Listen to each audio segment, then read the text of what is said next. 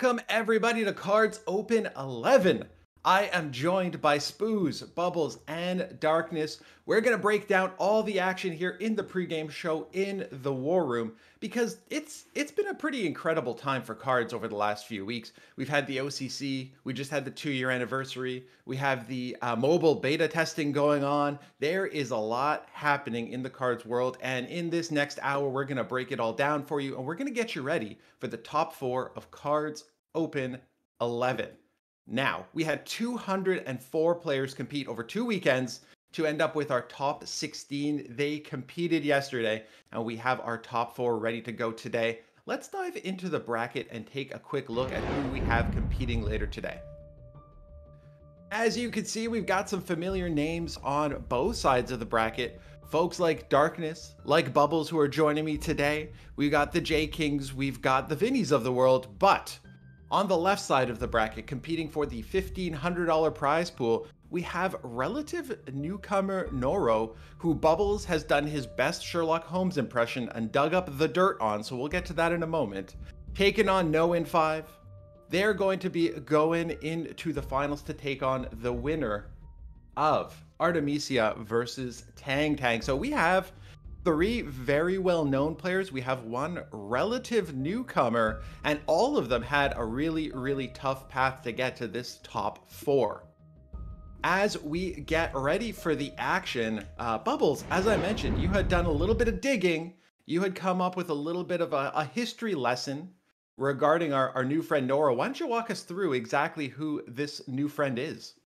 Yeah, so Nora reigns from China, like our other top three competitors today, and the you know the Chinese community has been absolutely killing it in KARDS for a long time, and, Nauru is you know a, a, new person to the scene, but no exception. Um, so they've been playing KARDS for about half a year now.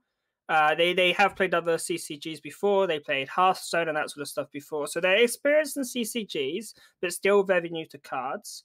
Um, and, and, for anyone saying, "Oh, sure, they've only been playing it half a year, but they must have paid their way to the top and sort of, you know, just lucked it out," they are completely free to play.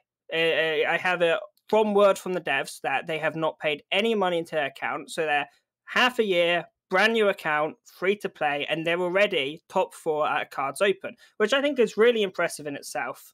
Um, just to give a little bit of sort of backstory about who they are and what sort of stuff they like. They their favorite is USA by quite a long shot. They they think it's really powerful. They really enjoy it, and we see that in their in their decks today. They have this USA Poland deck, which everyone's been running.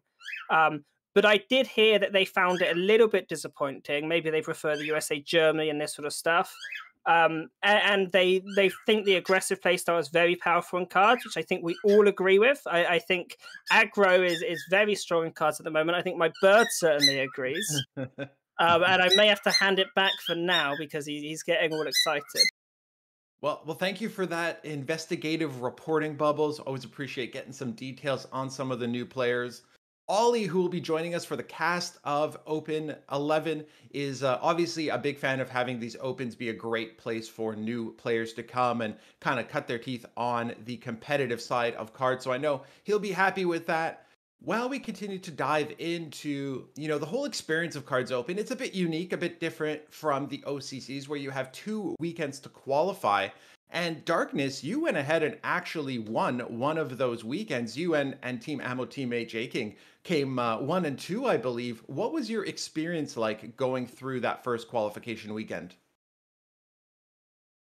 First qualification weekend is now already six weeks uh, away. So my my memory is shifting away. Um, there, I, I met some completely new pe- persons but most most interesting part for me here in, in comparison is that the meta completely changed. Uh, be, before I was still sticking to control decks, to to the regular tournament decks, and in the meantime, uh, especially with the last patch, uh, the the German Brit aggro deck is is new to the meta. The combined arm stack. We will going deeper into that later. And well, a lot of decks are similar. For example, Brit Air was very powerful before, is still powerful. Legions are still on the run. Uh, previously, no one was playing J aggro, and you could easily tech against aggro lineups, ban Brit, and beat J aggro. But now something changed, and aggro is very, very dominant this is one of the reasons I'm sitting here today instead of playing, and this is the reason for uh, the competitor bringing all the same lineup. And I, I think you talk, touched on a really great point there because the lineups are all very similar, and we're going to dive into that in just a moment. But Darkness, you mentioned, you know, that qualification weekend was a few weeks back. But Bubbles, you did actually play yesterday. Unfortunately for you, it didn't maybe go as you had planned. Fortunate for us, you're able to join us here, so I won't lie that I'm a bit happy about it. Uh, why don't Why don't you talk me through a little bit around what happened yesterday and kind of what that leads to in the way of expectations for today? So before I get onto that, I'd like to to pick a bone real quick. I've got a slight bone to pick, which is you mentioned Darkness first place, excellent. J King second place, and then you skipped who was in third place which was yours truly. I was like, oh, this is going to be awesome. We're going to cover my third place as well. But you're like, yeah, we got Darkness in first, J King in second, and nothing else of interest. I don't know. I'm I'm looking at the Smash.gg thing right now. I don't I don't see up there bubbles. Uh, maybe it's a production thing. Mark Mark Theus, can we get confirmation on that? but anyway, no, yeah, I had a lot of fun yesterday. Um, I, I streamed it as well on my Twitch. Um, so anyone who wants to see it can go and watch the VOD on there. It, it was a lot of fun. Um, we did get completely destroyed by Neon, uh, which was to be expected. I remember saying, uh, you know, guys, we're up against Neon now so bad news, we're up against Neon. Good news, I get to go to bed. So you know, it was a bit of a win-win situation for me. Um, and, and, I also played against Baron, who who is lovely, and we had a really really good time. He he sort of he played that Hummer deck everyone's playing, but he snuck in a delaying tactics, which is completely unheard of. And I was like, this is a useless card. Why is he running this? This is just dead. And then about 15 minutes into the game, he drew delaying tactics off the top of his deck and uh, killed me in one turn.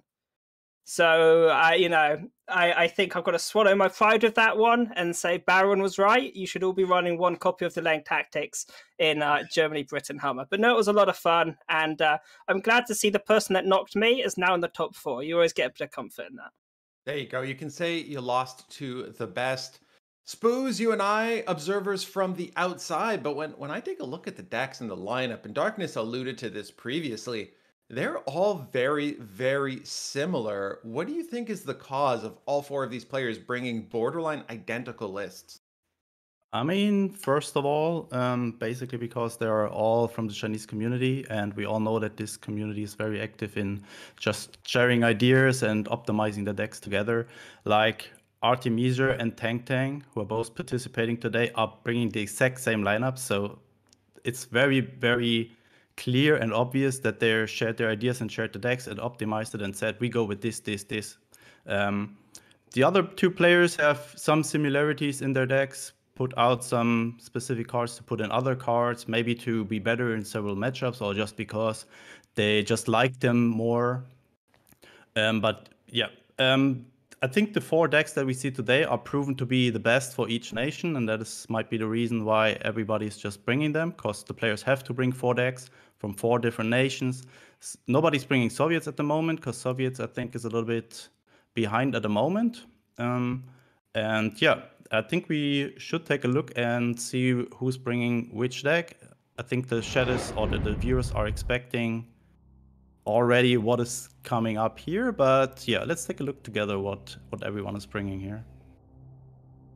Sounds good. So we've got Noan coming up first. Darkness, why don't you break this down a little bit? Obviously, these four lineups are going to be pretty well identical, so I don't think we need to go through each one with a fine tooth comb, but let's take a look at the different archetypes we've got, and then maybe we can dive into some of those little meta-specific tweaks the players are trying to put in there. Yeah, well, everyone is bringing German, Britain, the new aggro uh, combined arms deck, the Legion deck, US, Poland, Uh, the very strong Britain US deck, I'm expecting this one getting banned a lot. And the Japan aggro with Germany and Frightened Retreat. Well, looking at the general idea, I'd like to start explaining the Britain air deck. Brit Air is one of the oldest archetypes in KARDS. Uh, usually, this was best with Japan ally. This changed with the second last change, uh, the patch with United We Stand. Two credits removal and giving you an ramp point. So this is an early way to remove something from the field. Uh, this kills the threat for your bombers and this gains a lot of tempo if you're able to play this turn 2, maybe if you're even starting. This is why Brit Air has a little advantage over the rest of the aggro lists and this is why I'm guessing everyone will ban Brit Air. And yeah, the idea is just to place some air units, and with the recent change to close air support, you're now not only able to buff a single air unit, but also the ejectants unit. So, for example, you play in Swordfish and two Greyhounds left and right. Close air support will give you, for one credit, 3 3 stats divided on three targets, making it very hard to remove. For example, one Flammpanzer or Sudden Strike is only able to kill one unit, but you still have a powerful buff on field. This is amazing in in the terms of building your board. Uh, so yeah, this is why I'm not surprised by everyone bringing this list. And Bubbles, you participated yesterday. Uh, almost the entire um, lineup or the entire top 16, uh, Brit Air was banned almost in every matchup. And and I know you were complaining before we started, uh, we went live that your Brit deck was also banned despite it not being Brit Air. Yeah, so I, I wanted to break the mold a little bit, not bring the exact same decks. Um, so, you know, my Germany deck was a Germany Soviet pincer deck my Brit deck was a Hurricane OTK deck, much like the Spitfire OTK deck that Via Tour brought to the World Championship, but obviously much cooler because I made it um, naturally. And then other than that, I think it was pretty much the same. I, I brought this um, Japan aggro deck. I also brought a tokens oh, deck. You brought tokens. Yeah. I thought, yeah, I thought I might be the only person to bring tokens, um, but I also lost. So mm. I'm not hmm. sure what that says uh, you know, take from that what you will. we we appreciate the variety nonetheless, Bubbles. Um, as as we bring up Noro's deck or list here, and we'll see the the similarities. Spooz, do you think this is a scenario where the meta is sort of figured out? You know, you were talking about it before, where these are just you have to bring four um, different nations, and this is just sort of the optimized lineup for each of those four nations. Yeah, I'm pretty sure we are kind of settled at the moment a little bit. Um, especially when you have a format where you have to bring four decks and it can be an advantage to bring four decks that are kind of the same archetype, like four aggressive decks. So your opponent is having a harder choice which one to ban, and you're having an advantage for for just bringing basically the same idea. And if your opponent is not having four good answers, he's having a hard time. And yeah, th- that might be the reason. And I think also, what also might play a role here that the Chinese players are also known for um, liking to play aggressive decks. They're good at it. They like the playstyle. And as we mentioned earlier, aggro is a little bit favorite playstyle at the moment in KARDS since you only start with 20 HP starting. And yeah, there's so many things that are just giving aggro um, an advantage over the other archetypes at the moment. And that might be the reason why we see so many aggressive decks and so many of the same decks today. Right on. So Darkness, with, with Noro's list up here right now, do you see any small tweaks or changes or, uh, you know, unique cards that they're bringing that really stand out? Yes. Looking at Noro's, uh, they Japan German list has they got the main differences I see over all decks com- uh, combined. Uh, usually, Japan, German, J, a Frightened Retreat, J Aggro is a really defined, really polished deck list. Almost everyone is bringing the same version, and it's it's surprising if someone is switching one card, but he switched multiple cards. As you can see, he's not bringing Arados. Usually, this is used for you to get your card draw, to get your one Enigma or one Frightened Retreat, or Desperate Measures or Bombing Raid. But he, he's not only not using Arados, he's not using Enigma as well. What blew my mind because um, he. I, I'm very afraid of him just running out of cards if he's using this version. He's not having an, an tool to get his orders out of the deck and he's having less card draw.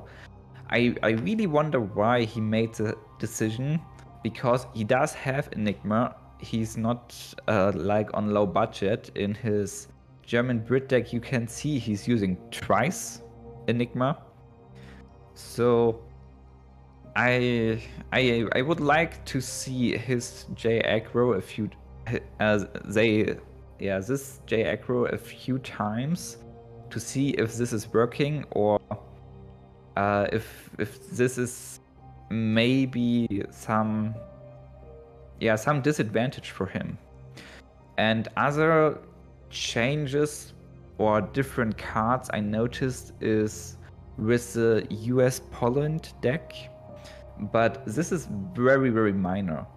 As you can see, the one credit Polish card, he's using two times Hell. Uh, this is an intel card and giving your legions the ability getting plus one plus one if they survive combat. Um, he's using two of them. For example, uh, Tang Tang is using one of this card. Artemisia as well, and Norian 5 is using none of this card, but a different 1k Polish uh, Intel card, Orb Osrel. Um, this one is adding plus 2 credit cost to a noun card, but these changes are very, very minor and overall uh, it's it's basically the same. Did you find anything else, Spooz? No, no. I think you mentioned it already a lot. Um, of the of the differences between the known J aggro and the and and Norris version. Uh, I was initially thinking that he probably was on on low budget there since he just started in December, and as we all know, special cards are hard to get. That might be the reason why there is no Arado in the deck. Um, I thought the same with the Enigma, but as you already mentioned, he's he's playing it in the German Britain deck, so I don't understand why he did not put that into that um, Japan deck. Because beside of the 22nd, he's not having any draw in the deck, and if your opponent can remove that one, it, it should be hard. If you don't find the Feigned Retreat, uh, should be hard to to finish your opponent off. Um, what I found out that he's playing Yamato um, as a good um, submission for the not played Arado. And he's also playing two of the Type 98, a card that we also don't see that often. Um, that is that 2 1 tank with that's getting plus one attack when you attack once or something like that. So some yeah. very interesting submissions for that. And um, yeah, I'm also excited to see if, if this works out without any draw and how it goes for them. I, I think that that's going to be a really, really interesting point to see. And I think Darkness, you brought up a great talking point when you mentioned it you know a, a, factor around consistency and card draw it might take a few games to see that come out. Because if you draw properly if things are going well it, you may not notice a deficiency in card draw but i think that as certain games kind of play out that's where you may start to see that challenge now, Bubbles, you were talking about your matchup against Baron, where they slipped in, you know, one little card you kind of weren't expecting or little nuances here and there. How important do you think that is when everybody's lineups are more or less optimized to kind of sneak in something that's a little bit different? not necessarily unexpected. Obviously, this is open deck list, so people will have access to it. But you know, nonetheless, just a little bit of a different style of play or a little bit of a, a unique setup that you may still not be expecting. I, I certainly think there's a bit the potential for a lot of value in it, but there's also the potential to to trip yourself up with it and, and sort of you know really screw yourself over. Um, but because KARDS is quite a small player base, and, and you see this in even games with big player bases, everyone does this set thing, and then someone comes in and does something a little bit different, and suddenly that takes over. Um, and and I think it's it's very easy actually to, to sort of do this, especially when you're in a top four, because you know your opponents. It's very easy to tailor your tailor your deck a little bit different, and it gives you a big advantage. Just obviously you do have to be careful. You know, you experiment too much, and you sort of do what me and J King did in the OCC. We both run forward delaying tactics. We both lose instantly. It's very easily done to get overly confident with this uh, kind of stuff. But little adjustments, you know, adding a Marder to J aggro, maybe, you know, this sort of stuff, it, it can give you a boost over your opponents. And, and it won't make it 100% you're going to win, but you can take 50 50 to 55 45. And KARDS is a game of numbers. Every single point you can get, every single advantage you should take. So when you go with these slight variations, you know, adding Yamato into Feigned Retreat, you can increase your win rate by just that little bit, and that can be the make or break. So I think there's a lot of value in it, but you have to be careful what you wish for because you can easily, you know, take it too far. And that's that's the beauty of experimenting with a list that's somewhat optimized is you can increase your chances of winning by 5% or you can decrease them by 5% and that in a top 4 with these types of players could be enough to make that difference between you walking away with the top prize versus you, you know, coming in in third or fourth. Let's bring up Tang Tang's list here now. Tang Tang and Artemisia are bringing the uh, exact same list. So, uh, Darkness, why don't you walk us through this? What uh, stands out, if anything, to you about these two identical uh, lineups?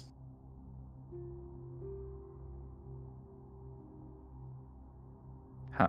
Um, yeah, I, I was muted. I, I noticed it myself. um, I don't know if something really stands out. Well, very interesting for me in comparison to my own decks, my own playstyle, is the Brit Air list because uh, some people are still using Throtfish and some people are not using this card anymore. As this is a 1 3 fighter, and because it's so little uh, and often not very useful in comparison to the bombers like the Gladiator or the Albacore, um, I removed it, but they didn't. Well, of course, it's another airplane. You can come, uh, you can use your close air support with.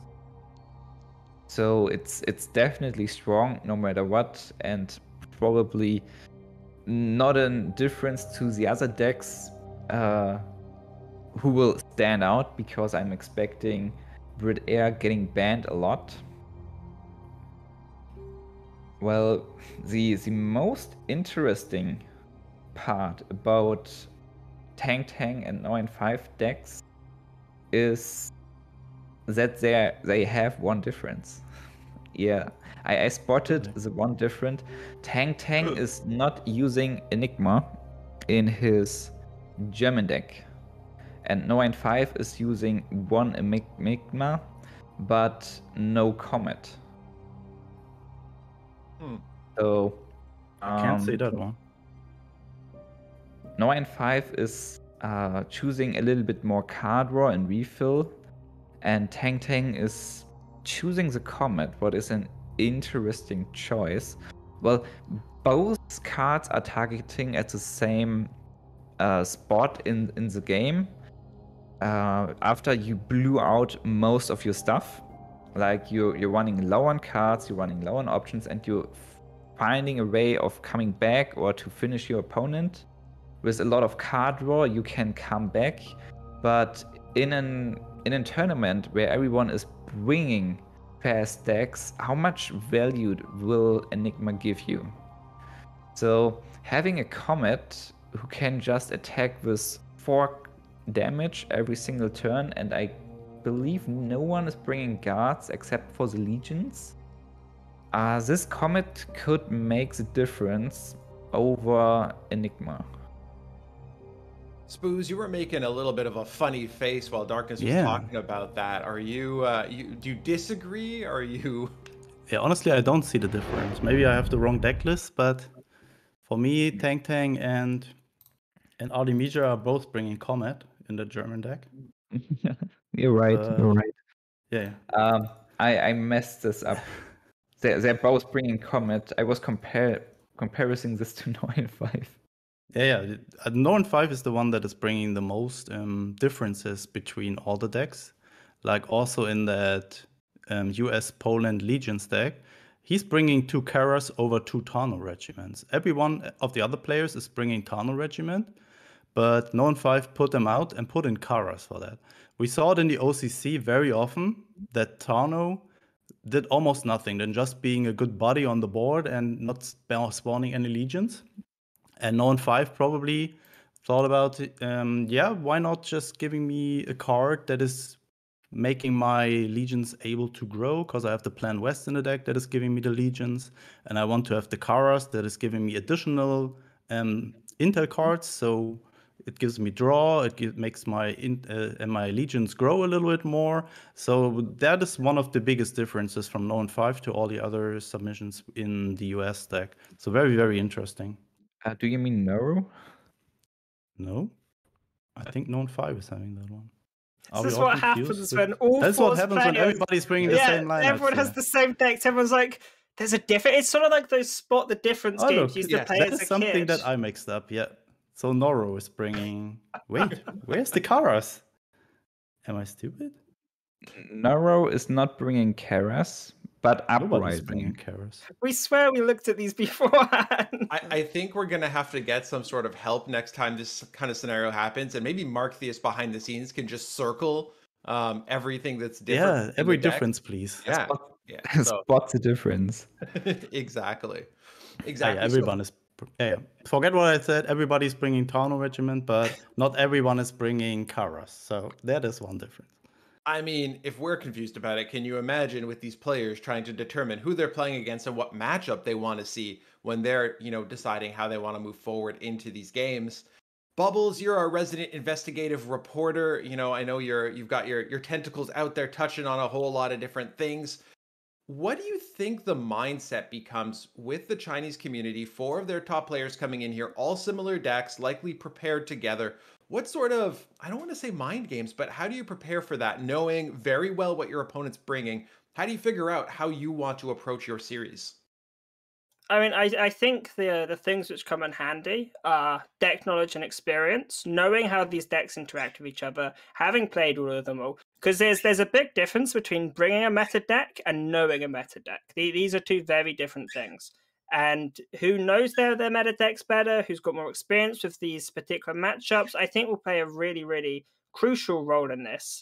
Um, and and I think there's also another amount of um, lack of pressure to say. For example, uh, I've played with people before, and I always say to them, look, let's not worry about countering each other. Let's focus on beating everyone else. And Mm-hmm. if we happen to face off, we've got this agreement that neither of us are trying to counter each other. So it's win win for both of us. And it honestly wouldn't surprise me if they'd said the same thing. Look, we can all try and counter each other and then lose to everyone else, or we cannot worry about it. So I, I wouldn't be surprised if they've gone with this, let's not worry about it route. And now they've reached the top four and they're going, well, look at this, it's great. Now, it, now it's just a load of fun, a barrel of fun. Um, so I, I think there may actually be less pressure because all the decks are the same. Um, but it does also create that little bit of difficulty of how do I gain the, the edge up? You know, e- even when you're up against a friend, you want to win, you want to beat them, no matter what. Um, and and I think that edge up will come down to experience and knowledge. I mean, three of these four players are walking away with cash, and one of them isn't. So you don't want to be that last person left in in fourth place. Um, Spooz. So we were talking about, you know, that that sort of matchup of figuring out, okay, what am I bringing? What am I not? Who am I going up? And I, I've just been corrected. Thank you, Mark Theus. All four players uh, walk away with cash. So Uh, yeah, a real expert war room today. We're really bringing you, putting the expert in expert panel. Um, but Spooz, as I was as I was bringing up, we've got uh, you know four players here trying to compete, trying to win, bring in very similar decks to to Bubbles. Um, thought you know maybe there's a little bit less pressure, but how do you try and get that leg up when you're getting into this this type of scenario where you know mostly what they're bringing? How do you try and figure out how you get that small little percentage point to get ahead of the game? Yeah, first of all, I think it's it all starts with picking the correct band there. Like we each one is bringing four decks here, and each one has to ban one deck from the opponent. And I think it starts with this. You really have to think, what are my preferred matchups? What are my least preferred matchups? And then just look what your opponent is bringing and just choose wisely which one, which deck to ban. Yeah, and then it, I think it depends a lot of, um, especially with the German Brit deck, for example. It also depends a lot of who's going first and second today, I guess, because some of the matchup you're really favorable when you go first. In some matchups, you it's better to go second. So it also depends a little bit on that. And then yeah, I think you just try to play your A game, get the most value out of your cards, and and that is the best you can do, I guess. So so well, go ahead, Bubbles. I just want to make a comment on bans. I want to make a prediction before it's too late. All all bans are Brit today. Every single ban, all Brit. That's what I'm going. You know those uh oops all whatever cereal? It's oops all Brit today. All Brit bands every series. That's my prediction. And if if it doesn't work out that way, you can hold me to it and throw me in the Icelandic Ocean. okay. or I'm I'm writing that down. I'm writing that down. Um, do, do you think it's one of those scenarios? And and Spooz, I saw you kind of nodding along with Bubbles talking, and, and Darkness, you had mentioned before that it's likely that Brit is is banned. But I, I want I'm wondering if this is a scenario where you know that one person can come out and say, "I'm going to do something different." And either look like an absolute genius and win, or look like a complete goof when they when they mess things up. So, darkness, do you you agree with Bubbles here? You think it's going to be all all Brit banned all day long? Yeah, I'm expecting this too, but I'm I'm looking forward to uh, someone changed my mind and Britain, maybe Germany, maybe even Legions. I don't know. Uh, I I would like to see that like standing out of the mainstream. This would would be interesting to to analyze to to watch, but I'm expecting everyone to ban Brit. It would be a great experiment to see, and it would also be lovely tossing bubbles off the coast of Iceland. Fantastic. Um, great friends. Well, thank you so much for helping break down these decks. Obviously, it's a difficult feat because they are all borderline identical. I, for one, am really excited to see them all go head to head uh, to try and determine, you know, who is the best here, who can, um, you know, reign supreme when everybody's bringing very, very similar tools to this event. Now, before we wrap things up, any final thoughts here? Um, Darkness, let's start with you. Anything you're expecting to see, you're not expecting to see, or are going to be surprised about? Well, this time, as yeah we mentioned before, everyone is having the same lineup. Probably will ban the same. Uh, now it's really interesting to not analyze the different kind of decks and archetypes and matchups. It's like the strategy what what they're bringing first, although this could be like paper scissors stone. Uh, it's very interesting to to analyze the game plan, like the piloting of those decks, and looking at this the few different cards if something is standing out. For example, no enigma in Nero's Japan aggro list. Maybe he he's losing in the end. Maybe he just has more units in the beginning to to get an advantage over his opponent. Uh, analyzing those, the way how those player are playing their decks will be very interesting especially since this is an aggro meta and those Chinese are the experts for the current meta. So we, we are analyzing and learning from the best. Well said, Darkness. I think it's so interesting to to your point not talking about what decks, what lineups were brought, but really that nuance of how they're going to play it, how the decks are going to line up, who's going first, who's going second, all that. Bubbles, as we go to you for final thoughts, I want to ask one question as well. Um, you know, Noro being a, a, fairly, I guess, relative newcomer compared to the other three, you talked before about not just bringing meta decks, but knowing meta decks. Do you think they're at a bit of a disadvantage based on the fact they just have fewer games under their belt? Definitely. I, I think that's always going to be a factor. Um, but they also could have an advantage. I'm not going to say they will, but it's possible they have an advantage because they'll play and, and, do the, the game pace in certain ways you wouldn't expect um, because you just don't know them as a player. When I'm up against familiar names, I generally know the pacing they like to play at. I know this mm-hmm. person plays quickly, they want to go for a quick win. This person, you know, for, for example, J King preferences the long game. And I asked him why. Why do you preference the long game? And he gave a really good reason, which is the longer the game goes, the more chances the weaker player has to make mistakes, which makes complete sense. Um, so we don't know how Noro likes to play. Noro likes to play the game. His opponents probably don't know, and he could catch people off guard and, and sort of play more aggressively than they expect and just overrun them. So that that could work to their advantage, but there's a definite disadvantage and a possible advantage. So it's certainly not looking good. Thank you for breaking that down, Bubbles. Spooz, any final thoughts? Yeah, I would like to see Noro winning that whole event today because that would prove everyone. I mean, he already proved it that KARDS is not really a pay to win game. So he just started in December last year. So he's just barely six months into the game and is already the top four of a big tournament where you already mentioned it 200 people participated. And that is really impressive. And it really proves he's just beside the one or two changes, he's just playing all the meta decks that everyone is playing. So he's having all the important decks to be successful in KARDS, to be competitive in KARDS. And that really proves that KARDS is not pay to win. And that's why he deserves to to just win here today and just proving that in a in a next level with with with this win here. Yeah.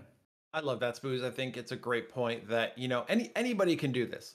It doesn't take a long time. It doesn't take a lot of money. Competing, working hard, having a great support team and system around them definitely helps. But I think that seeing somebody like this go ahead and win an open is it just shows that the game is in a really great place from a, a free to play perspective and from you know not feeling the need to grind all kinds to uh, to be able to compete. So thank you all three of you for your insight. I uh, I appreciate that tremendously. I am excited to see how this is now all going to play out. So stay tuned for KARDS Open 11. The four of us will be joined by Ollie as we dish out $1,500 worth of prize pool in just a few moments.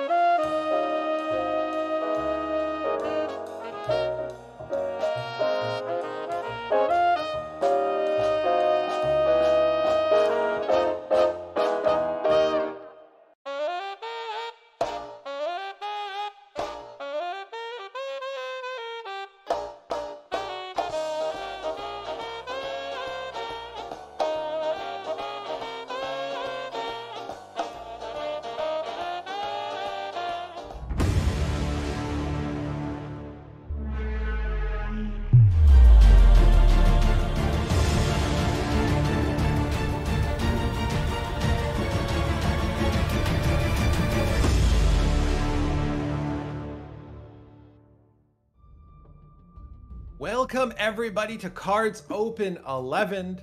I am joined by the one and only Ollie. Ollie, how are you doing today?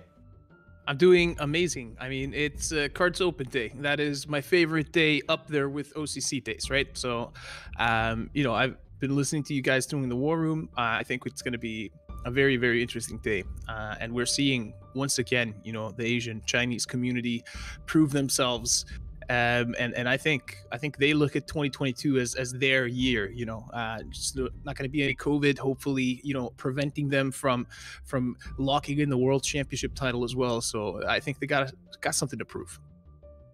Absolutely, and I mean, we talked about it on our our expert panel, and I'll, I'll use the term loosely because we were all in top form today. but um, you know, you see a group like that come together, work together to build out a strategy, to build out their lineups, and we see four lineups that are very, very similar today. Is that something that you, as a developer, are also thinking, oh, maybe it's time to shift up the meta a little bit, or is that just you know a community coming together and deciding, hey, this is what we want to do? Uh, I mean, so I, I actually, you know, that that Hummer deck uh, specifically, right? You know, it's one of the fastest decks that has kind of come out in, in, in recent years, and obviously it can only be one deck slot here, but it is pretty prevalent, you know, on ladder a lot of the times. A lot of people use that to grind themselves up into field marshal. I know I did.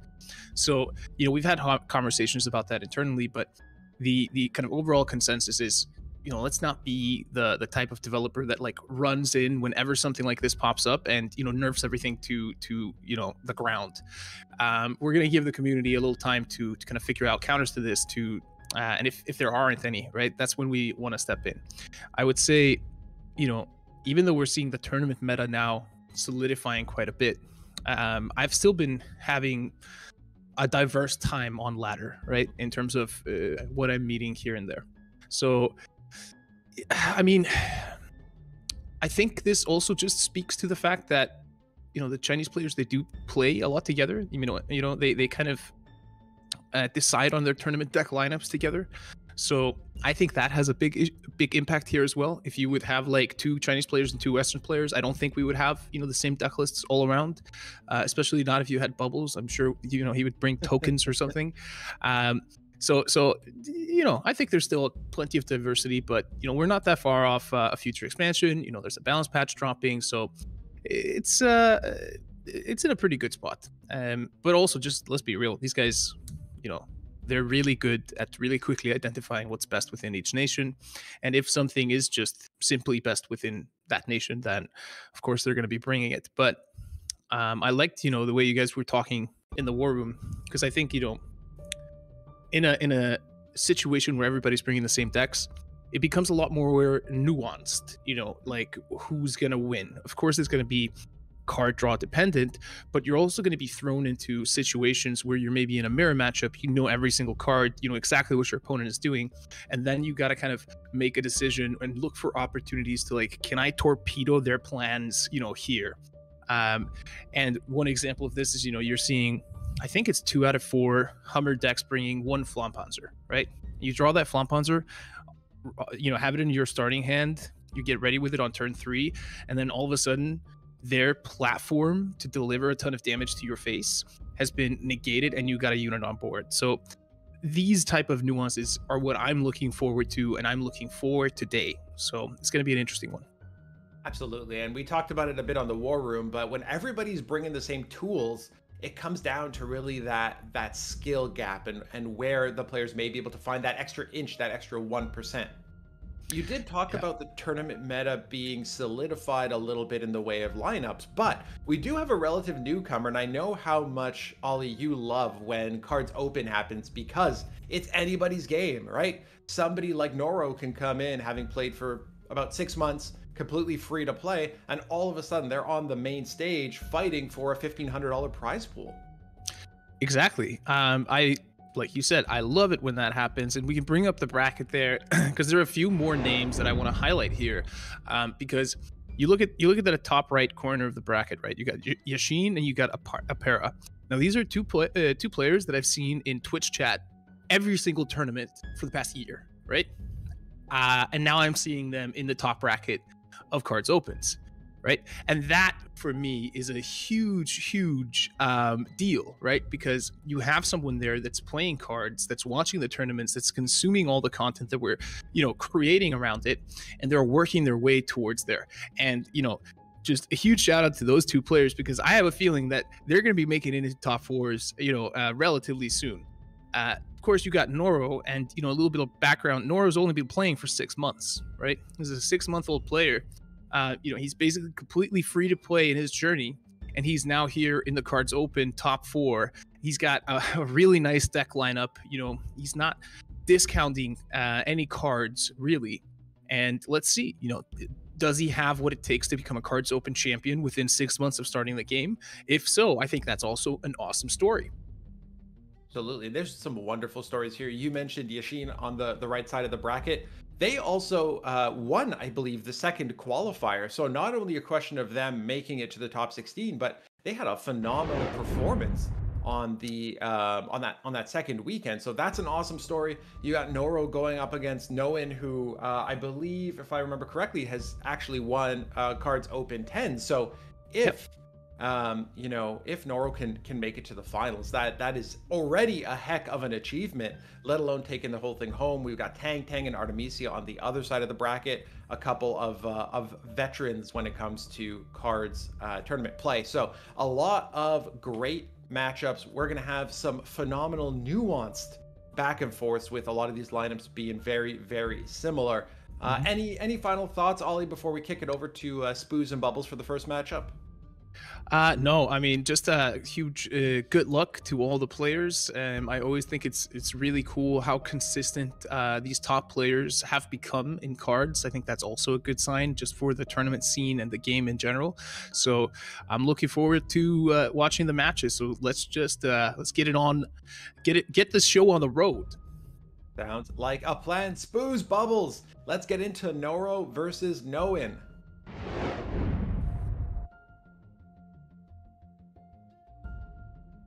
Who's saying something? Oh, yeah, I, I was waiting for you. I was like, yeah, on. Usually you start first. So yeah, welcome everyone to the to the first match of today. It is Tang Tang versus uh, Non Five versus Noro, the newcomer. So Bubbles, um, what do you expect from from this first match today? Uh, I'm really not sure. It's a good question. I, I expect a lot of Hummers and a lot of very big Hummers. Um, I expect not much Brit Air, as I spoke about earlier. Um, and, and I expect a good series, to be totally honest. I, I'm very excited to see where it goes. Having Neon absolutely destroy me in the qualifiers made me even more excited to see if someone else is able to take him down, you know, avenge me a little bit. Um, but no, I, am I'm super, super excited. Um, I, I, think one of the decks to look out for is going to be this USA uh, USA Poland deck. I think this is going to be one of the more difficult decks I, I think I, I, people may disagree with me, but I don't like this deck. I don't like it against Hummer. I don't like it against Jagras. I feel like you get burnt out. I, I'm not a big fan of this deck, and I I know that um, Noro was disappointed with this deck in the qualifiers. They found mm-hmm. this deck disappointing, and you know I doubt they'll be targeting it as a ban. And I think the only real player in in you know this trio uh, that that values it is Neon, but I know he's a very good player and values it a lot. So I think that deck's gonna be an interesting one to look out for.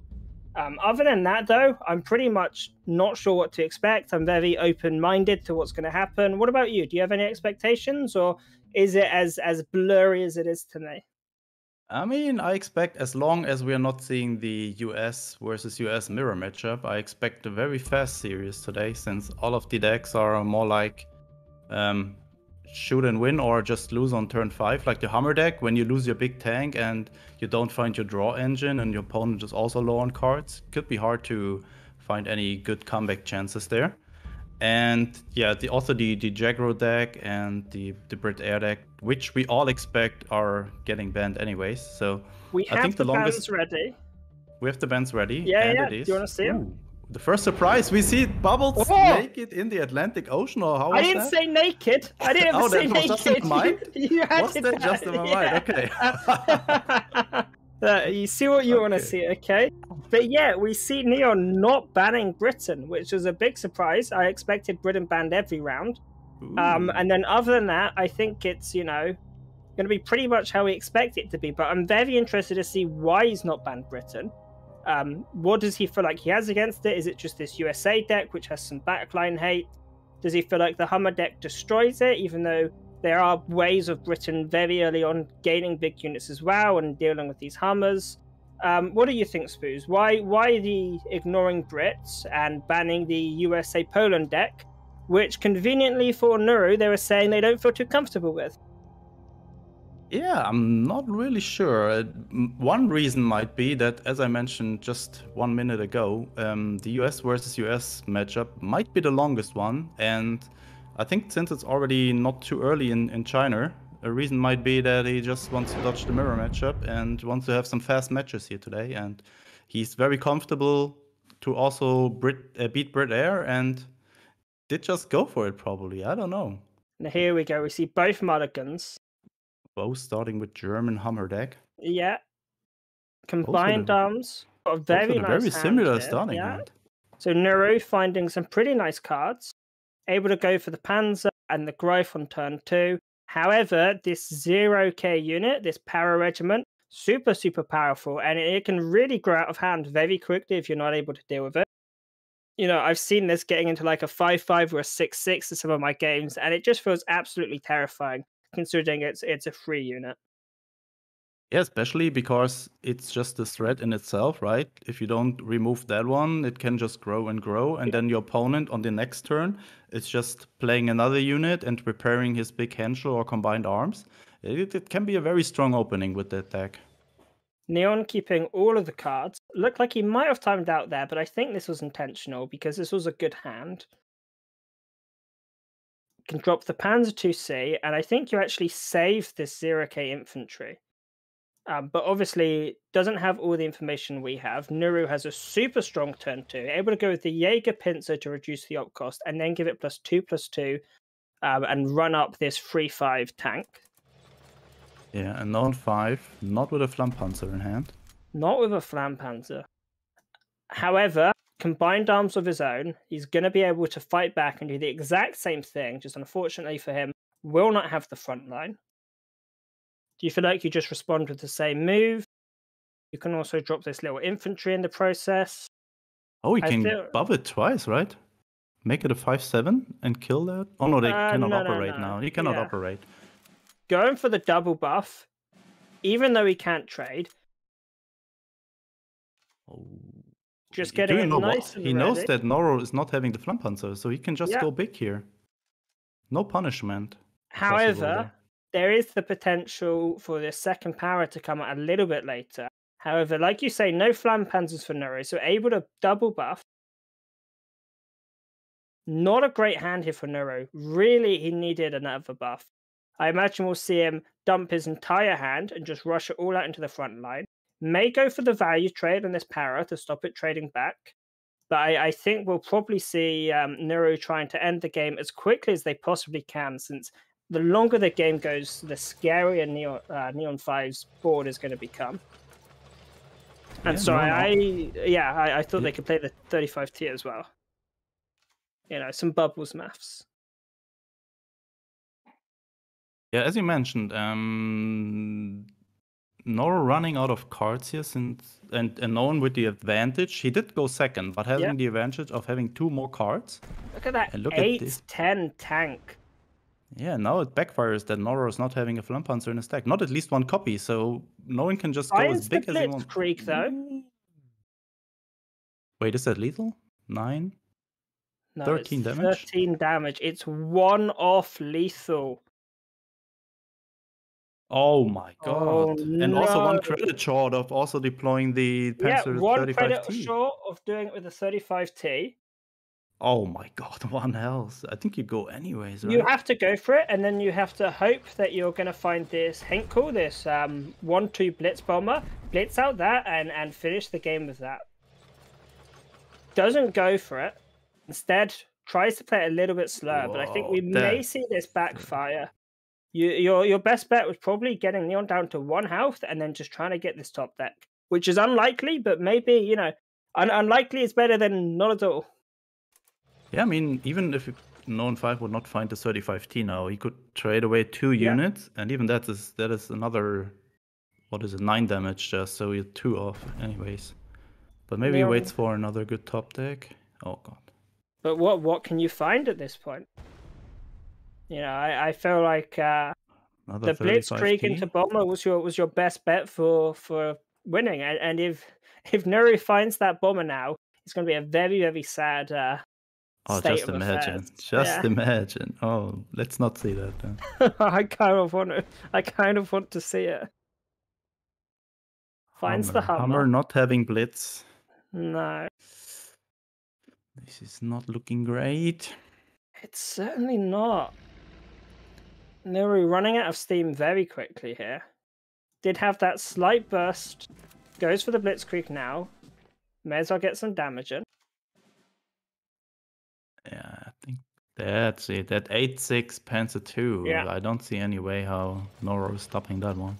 And you know, I must say, I'm very happy that these Jaeger regiments have come into meta because they're with this uh, reduction of op cost. It's sort of like extra growths, right? You're able to spam up these like tanks and run them up for free.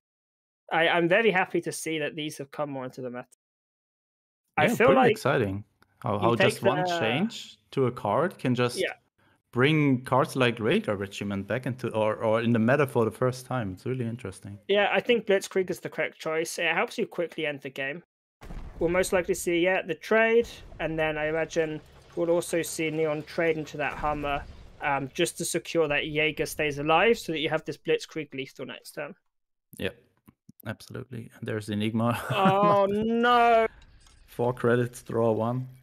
and, Oh, got into, a into a combined, combined arms. arms.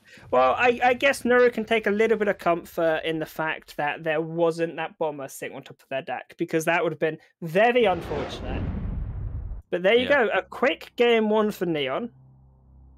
as we all expected. So that German deck is now out of the way for Noro and he cannot play it again. So do you expect Noro to just go with this deck again? And what would Nolan pick against that?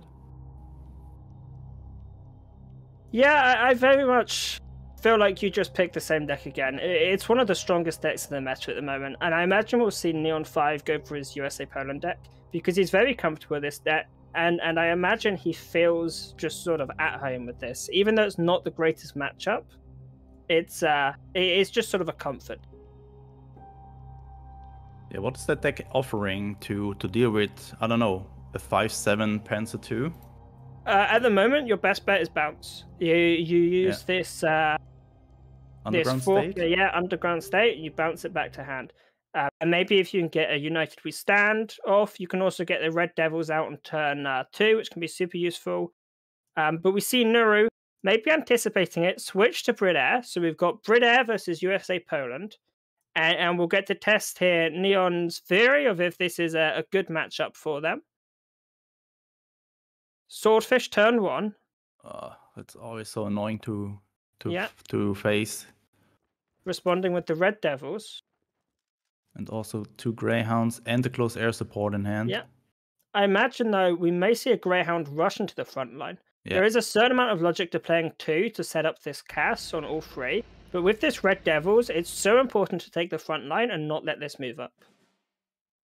Yeah, the opponent can not really punish it, right? There's not not a lot of tools to get rid of that Greyhound, so it might stick there when your turn starts next turn, and then you can just go with a second Greyhound, have a 3-3 bomber, but you cannot attack into the Red Devils next turn. No, I feel like you put down a Greyhound, then you buff the Greyhound and the Swordfish in the back back line, and then you just trade into one of these little chocolate infantry. I, I don't think you need to worry too much. Um, and you, you are getting a little bit of extra value buff. Now, Neon can respond with this um, buff here, this 2k United We Stand, um, but I don't think it will help too much. Unity is strength, but yeah, Unity we have too strength, we have, we have Yes, too much yes. uni- unations in the in the game so far. With Too all the much navals, we just get yeah. uni- yeah, yeah, you, we have too much unity. After all the naval, we get too, more unity into the game. And he did exactly what you said. Wait, did he? He played two. He played. He played Oh, no, the he did not play two. Greyhound, buffed it, and then went for Yeah. the trade. Then we see the Unity as strength. Dude, I'm telling you, I'm a soothsayer. I have these these magical abilities to see what other people are gonna do. but not figure out the right move myself.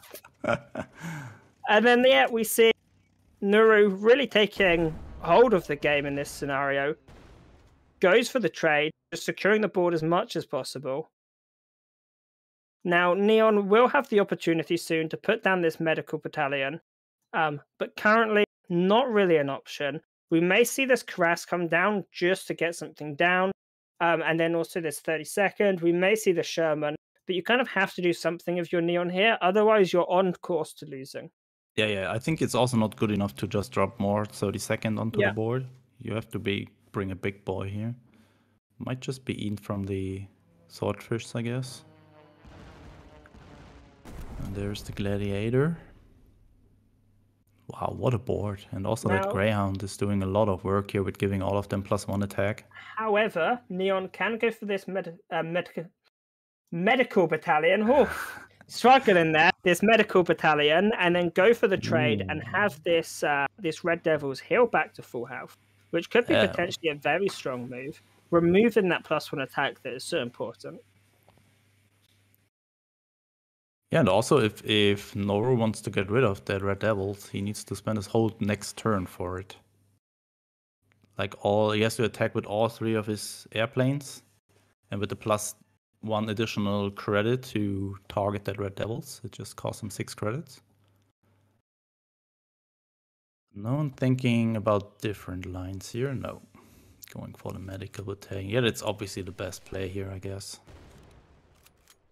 Giving it plus three health back. Getting rid of the Greyhound, so all support line units from Noro just lose plus one attack there. Oh, and another close air support.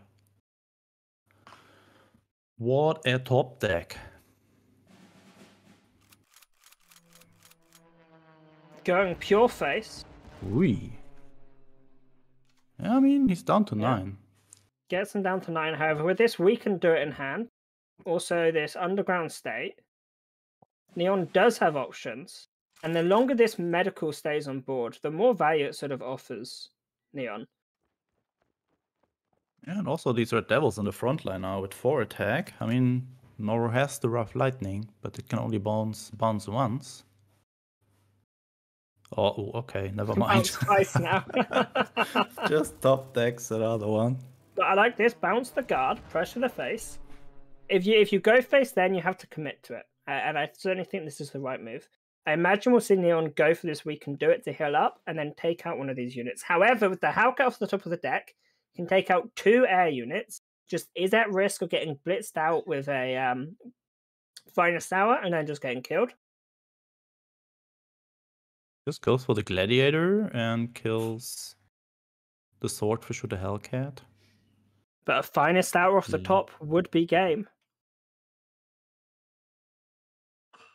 Also, yeah, and he's also having mobilization, right? So he can Yeah. just also try to find um, Empire Strikes or stuff like that. Yeah, Empire Strikes, Finest Hour, Wellington. There's a lot of things off the top of this deck which could just spell GG if you go for this move. So we'll see what does Noro end up getting.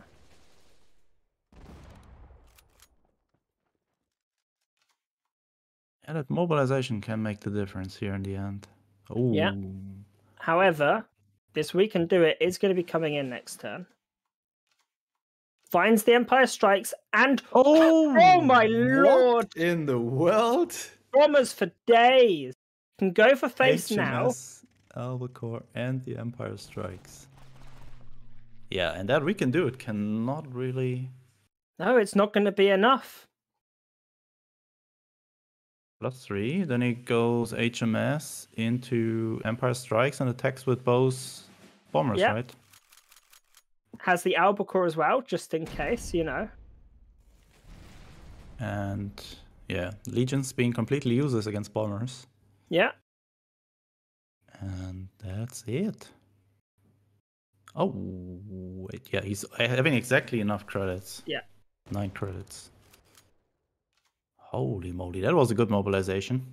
So long as he one. doesn't, you know, make a huge miscalculation, there you go. Goes for the HMS.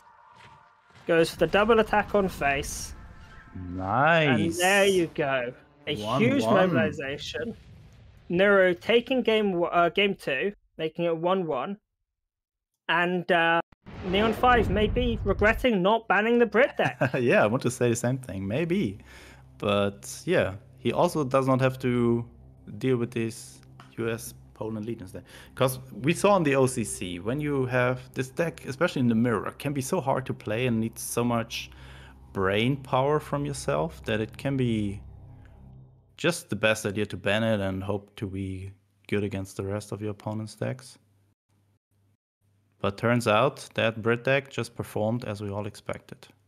Now we've got J aggro for Noro And up against this USA Poland deck. Turn one um, type 93 really isn't ideal, but with this 20 second, can still win this game. Yeah, whenever you see that one from your opponent, you think you you might have a good shot, right? Type 93 on turn one is not really what you want to do when you are a Jago player. Usually, you want to have your 15th cavalry, your bicycle regiments, anything like that. But just a plain Type 93 gets the Befehlswagen on board. Type 94.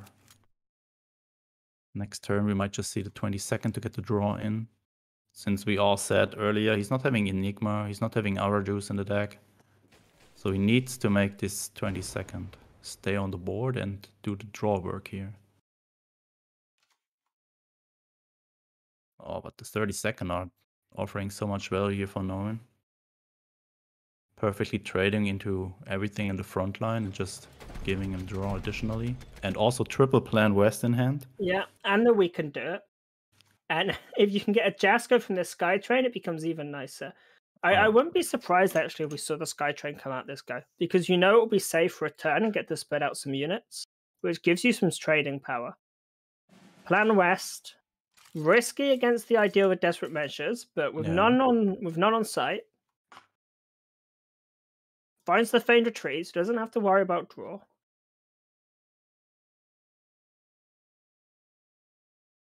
and uh, I'd missed that, I think. But do you see? Do you notice what's uh, in Noro's hand? The Type ninety eight key. Yeah, yeah, he's he playing the? Type 98, yeah. I I don't know how I missed that. I I guess it's just I didn't go looking for it. You know. Yeah, he's playing Yamato and that one for Enigma and Arado. And there it is. Yeah, really, really interesting. He's having Enigma in his collection and deciding to go Type 98 over Enigma. That is really an interesting decision. What do you think about this? Is he seeing something that we all do not see? Or what might be the idea? Well, because what is he doing if he's not finding a Feigned Retreat? If this is at the bottom of his deck? Can you ever win with this? I mean, I understand the idea of reducing the order count so that you're more likely to get feigned retreats, but he's still running four orders. Yeah, and also Um, no Arado, yeah. so he's not increasing any chances to find a faint retreat with playing lower amount of orders. Maybe he just believes in the high roll. Uh, maybe, yeah. But do you think Type 98 is something you really want to replace it with? I mean, it's having zero up cost, right? Two damage. It Can be free damage as well. Yeah. And then with a Type 93, four damage. It stacks up. Unfortunately, not really finding the desperate measures here for. No, Tomorrow. however, with this Feigned in hand, you know, it doesn't really matter too much. And I'd hmm. honestly like to see this Feigned drop this turn. I, I know not everyone agrees with me on this, but I think on curve Feigned is one of the most scary things for a mid range deck to see. Yeah, I, I when I watched your games or some of your games yesterday, um, I saw in very early faint retreat you had a lot of cards left in your hand and also I- some high value cards, but you just just go for the faint retreat, and I thought, ooh, that was I interesting. I, I won that game as well. You've got to Yeah. go for it. The value. I, I because- did not expect it to go that well, honestly. Yeah, but look at it this way. What does your hand size matter? Right? It doesn't matter your hand size. Because you play Feigned Retreat, you essentially have an infinite sized hand. So long as you can buy that first or second turn you get of having a lack of options, then you then pop off with it. Um, however, Noro deciding to take the more conservative route. Ooh, Nakita didn't face there, very good. However, Neon 5's hand still looking really scary, and I imagine he's playing around this turn 8. Uh, and for those that don't see it, on turn 8, he can go plan west and we can do it. Uh, and buff up two guards as well as heal HQ. And this Radiant Brigade has now been played, so that can even be used to take out one of these um, buffed up guards. So he just has to decide how does he want to play this turn. He may go for the trade and then push a Kali into the front line. And then when this we can do it comes out, this Kali becomes really, really scary. May go, yeah, goes for the plan west instead. Goes for the trade, goes for the sky train. See what he gets. Ugh. Yeah, but it's golden. Mm, at least. Yeah, it, it produces gold. Key 83 rolling in. Oh, And but no, this not really having a response yeah. for that. A very I don't know. I, I would have liked the feigned retreat over the KI this turn. What's this KI doing? Trading one unit a turn? You know, it's it's sort of useless. Yeah. And now, what other options do you have? You don't really have any. But you drop the you you can drop the the Caney and then play the feint. You could even pin something on your way out. Pin that thirty second. Keep it in the support line to clog up that support line. Yeah, maybe he wants to get something big on the Sendai before he just discards it. But yeah, I agree with you. Um, in a way, I I think I would not play it on curve when I have a lot of value cards left in hand, or something like Akita, Mido that I can just blitz out this turn and, and maybe wait. As long as I'm in the support line, I think I'm fine with keeping the feint one more turn. But, But yeah, he- I think he should have. yeah. Yeah, I think he should have played it last turn. I mean, the, the key, as long as it's surviving, is doing something similar for him, right? Also giving him additional draw, but also his opponent, while also being a threat and helps you to get rid of the Skytrain, maybe. Which is probably never going to happen with all with all these legions. Huh. Tough situation here for Noro. Yeah, it's certainly looking like a neon game at this point. I mean, like we said before, this is one of Neon's most comfortable decks. Um, they gained a reputation for Oh. Britair, J aggro, and this. Those are their sort of three they're known for. Did you see what he get? He got Yeah. a Jasco.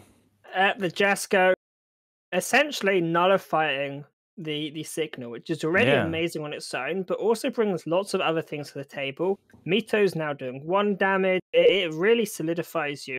However, Noro is able to take it out, but he'd have to use two he'd have to use the Type 93 and then two surprise attacks, which would prevent this feigned retreat by yet another turn. Interesting goes for the guard in the support line rather than the guard in the front line. Maybe deciding that, you know, this Skytrain has to die, can go for the Type 93 in the trade. Goes face. That is interesting. With the Jasco on board.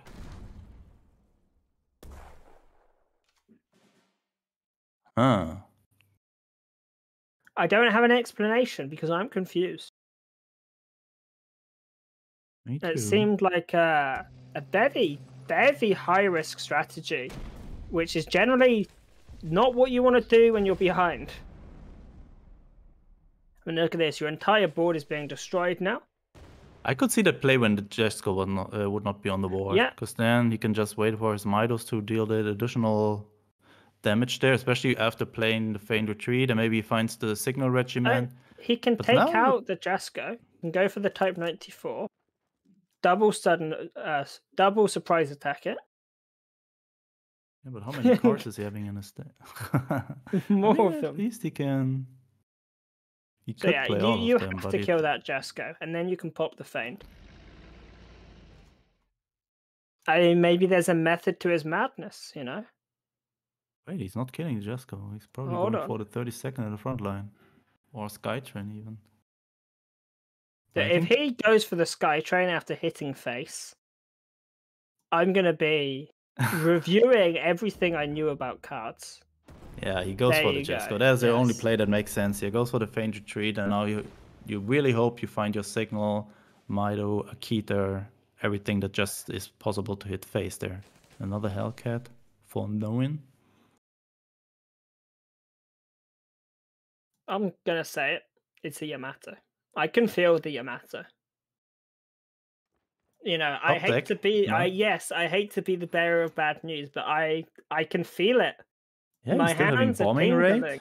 He's having desperate measures and Yamato left on the Yeah. deck. Desperate measures would actually be quite strong here. You take out a huge chunk of the board, and then you can finish off trading with the other units you have. Um, and there is a legions below that Sendai, so you can trade off the Sendai, trade off the Type 93. Obviously, if you can find some other units and then draw into the desperate measures, it's it's even stronger.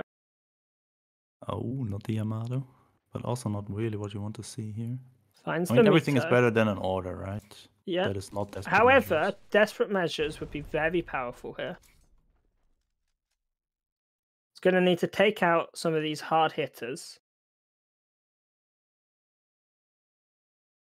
So you can trade a Mito and this Type 93 if you want, or you can trade the Type 93 first. I think you target this 40 second infantry that hits for 4 attack. yeah, Can still take it out. Oh, you can still take it out. you think, you think he's going for the PIR? I think that'd be a mistake. I think Yeah. it's just seven damage, right? Seven and not a lot of stuff left that can directly blitz to the HQ. That's true, but Unity um, Yeah, Unity strength. I Yeah. can see that one. could very easily just have ended the game. Luckily, doesn't have one. Luckily for Noro, unfortunate for Neon. And that's with three copies in the deck. That's Yeah. a little bit unfortunate for knowing here. However, this huge front line. Is it Yamato Yeah. lethal? Uh, Yamato trade away 12 damage, yeah. Yamato is lethal. That is Still has Yamato. time to find it though. Can start trading away and replacing. Just has to be very, very smart about how he trades away.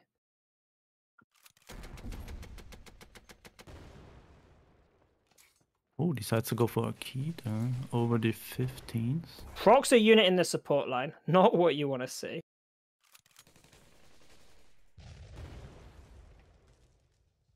All his orders are at the bottom, looks like. Desperate measures Ooh, wait. could be game swinging. What is this match? Goes for the Akita.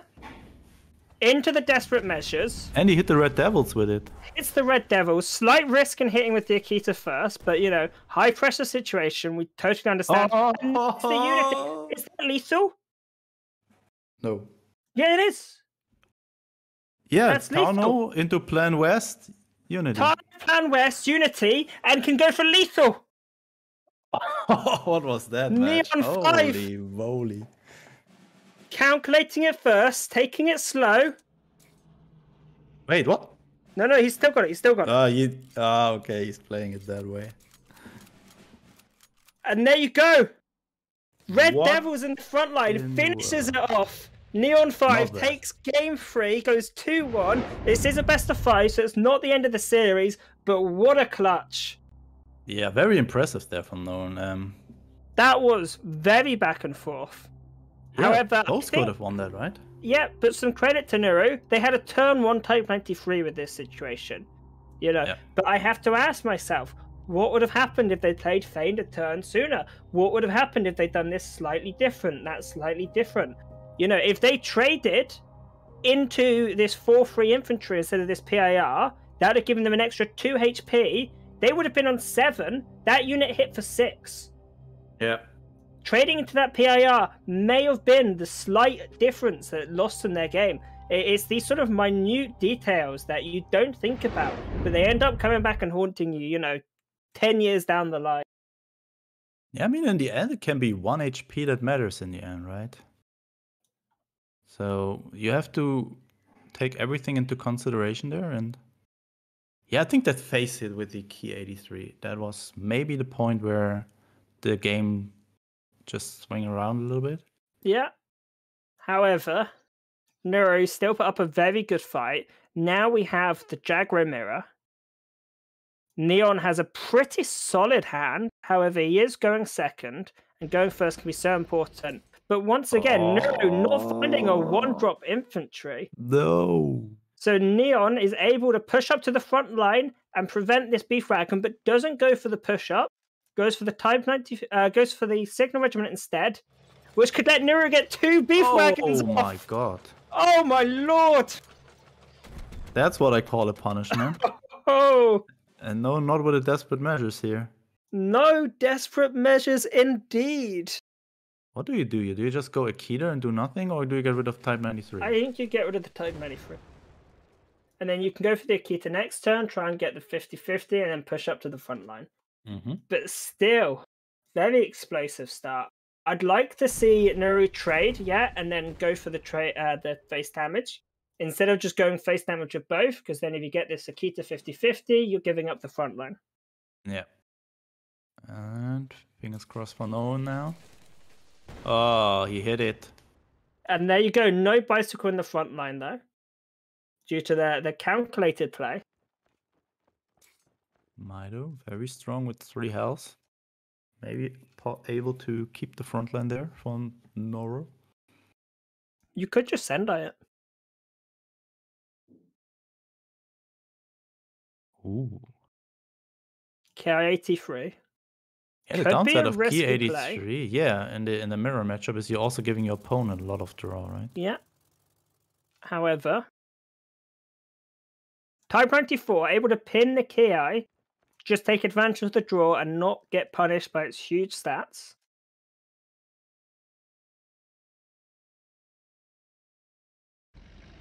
Oh wow. Neon 5 still having a very strong hand. Also finds a type ninety four. So he has two of them now, so he can remove anything that is a big threat there from Noro. At the moment not really anything present. That would be removed from double surprise attack. Just goes for the pins to prevent two damage there. But Noro also with a good hand, not too bad. Akita, Mido, and he's having the faint retreat again in hand. And the Type uh, 98 Ke-Ni. Can't forget about the little tank that could. There it comes. Oh. Hey! I mean, to be fair, it looks pretty cute. It's a cute looking tank. I'm in full support of this. Now, do you think Neon just goes face here? What I find pretty impressive that. Wait, no, knowing did go face with a Ki-83, right? Um, I Did believe he? so. Or was yeah. it pinned? I was just wondering where that 14 No, it was it was was pinned last time. Signal, yeah, yeah, yeah, it was pinned. You're right. And uh, it can be pinned again next turn. And this raiding brigade able to take out this signal, so we'll be able to stop himself being slowly burnt. But you can also take out this Sendai. If this Sendai comes down, you can respond with this raiding. It just depends on whether you're more scared of being burned or whether you want resources now. Sort of, you know, resources is- now or slow damage. Another very intense match. What I find really interesting that Noro is at 14, although known did not really touch his HQ so far. Did the power of signal regiment. Yeah, and Akita and Mido. No, it takes out the KI. Ke-Ni down to seven. Signal doing work there. down to five. down to five.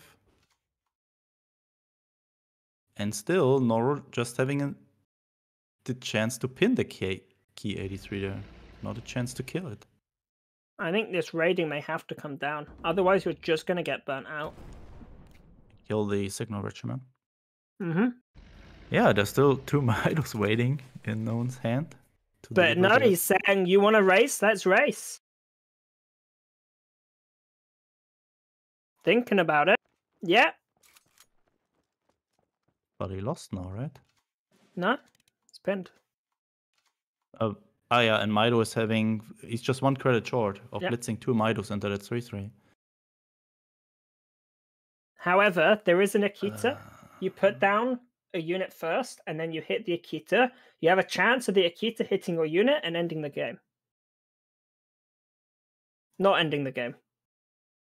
Doing four damage and not quite Yeah, ending the four. game. He's one off. And this hands Oh at my- 35T in hand as well. Yeah. Oh no. Is Noro going to win this? Did well, he you can correct? Sendai. You can Sendai something, but it's still not enough. Sendai, type 93, take out both units in the front line. That's your path. You Sendai one of them, you type 93 and pin the other, then you pass turn. Yeah, that's the only chance to stay alive. Yeah. here.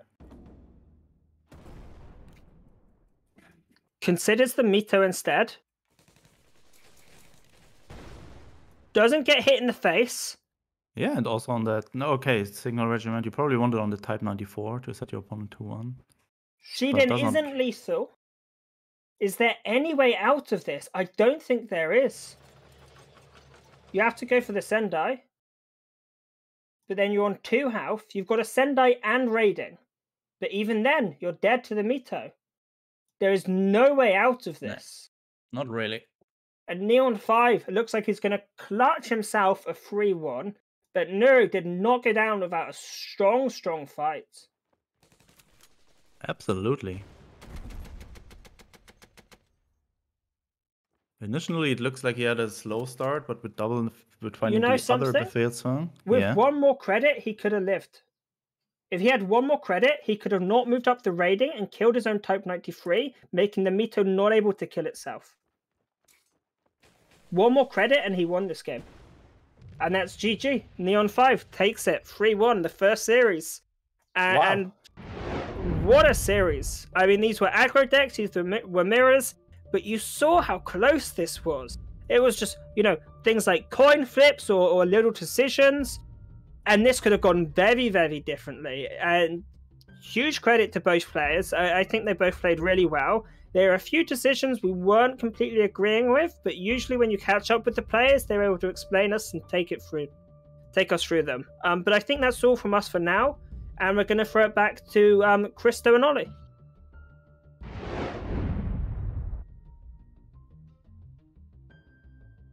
You're muted, Christo.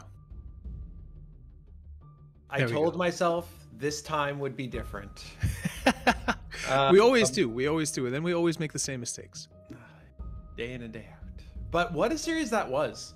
Um, you know, looking at it, it comes out as a three to one score. I think it was a whole lot closer than that. I mean, we we saw the deck list being so similar as uh, Bubbles was mentioning in the wrap up there. A few little coin flips here and there, but in reality, it was a very very tight series, and a little bit of a different draw or one extra credit could have made all the difference there. Yeah, I mean, uh, I, I I'm gonna say this. It was a more entertaining series than I expected. Right? I mean, I expected the aggro matchups to kind of be like whoever gets to buff their tank first wins. Right? But no one five completely buckling that in first uh in the first game, and I would say like you know kudos to him for for staying cool with that buffed unit in his face and just going like you know what? I'm gonna take an extra you know three damage. I'm gonna double buff my tank because that is gonna be able to trade out you know multiple of these single buff tanks from him. And he was just being able to keep his composure and make himself uh you know come out victorious in that game you know through that comeback. And then game two that was kind of brit air being brit air. And you know i've been trying out this new brit air deck list and the the amount of times i've been like you know where are all my units? And then all of a sudden i have like eight bombers.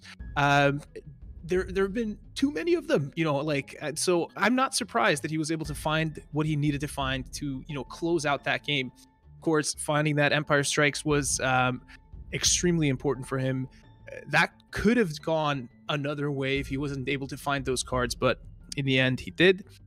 Game three very close game but i feel like this is also why noan is known for us legions right? Mhm. i mean he's the guy that you know has championed this deck as one of the best decks in the game.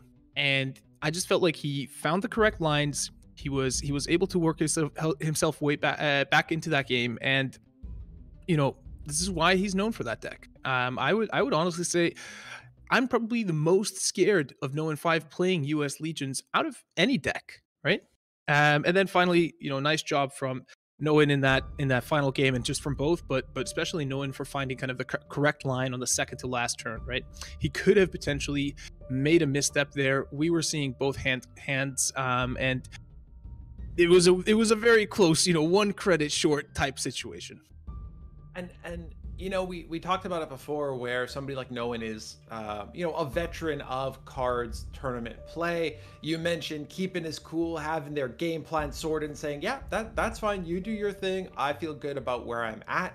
Uh, started off the series by taking a, a surprising turn, going ahead and banning, um, not banning the Brit Air deck, which everybody sort of expected, and it turns out that came to bite him in that one game, but I mean, the other games, you know, um, just the, the little nuance, the little things that you saw um, Noen do in the way of being that established veteran player, and then Noro showing a little bit of his uh, of his you know um, kind of rookie experience here.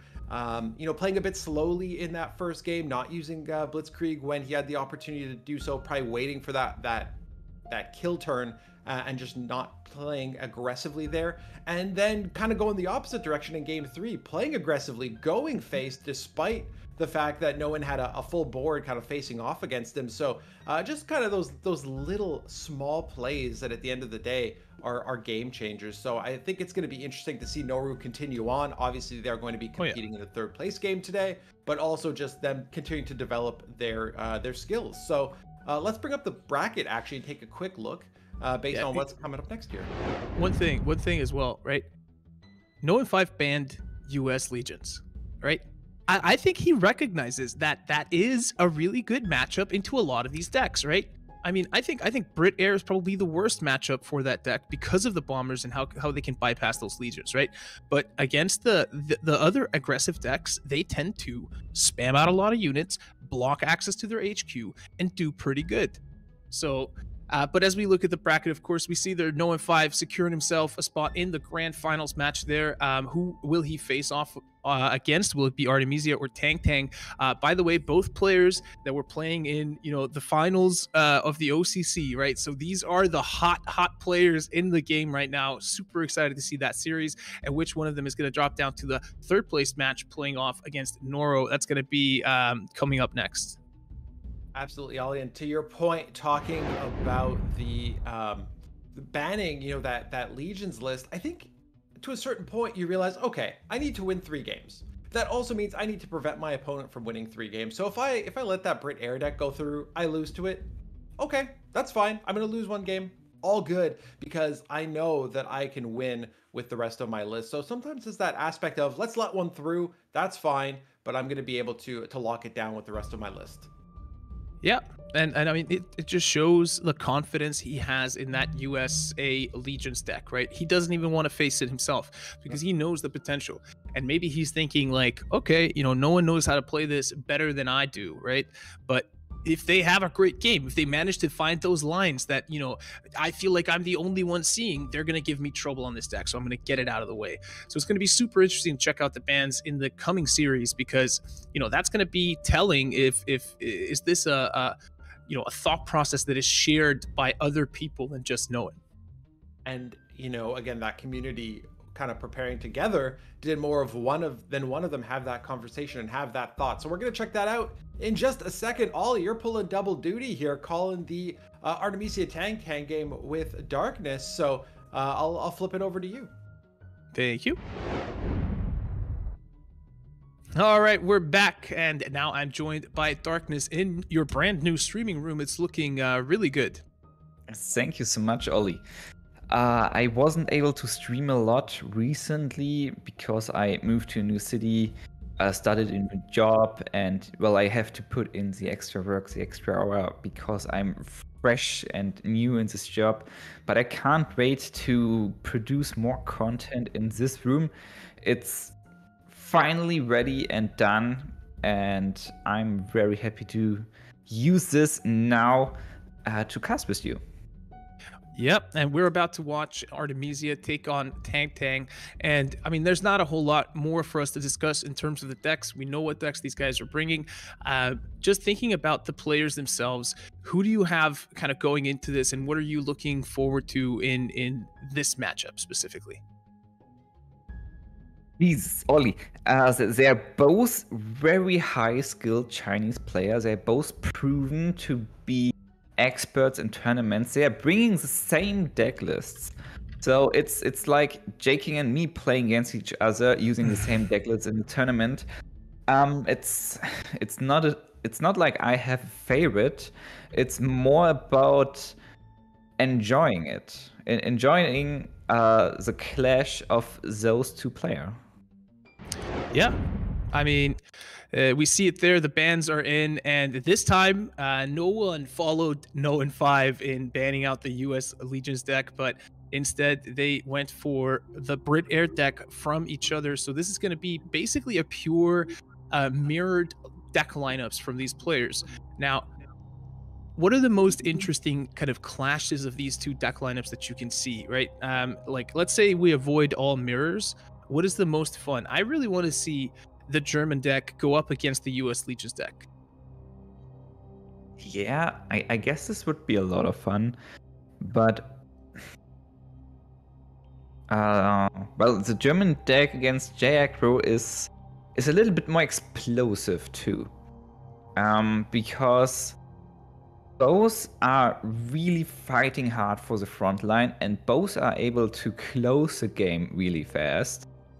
So, and and and both have having like abilities. The German uh, combined arms deck is able to fight back the, into the front line, and the Sendai regiment is able to get rid of the big buffed tank.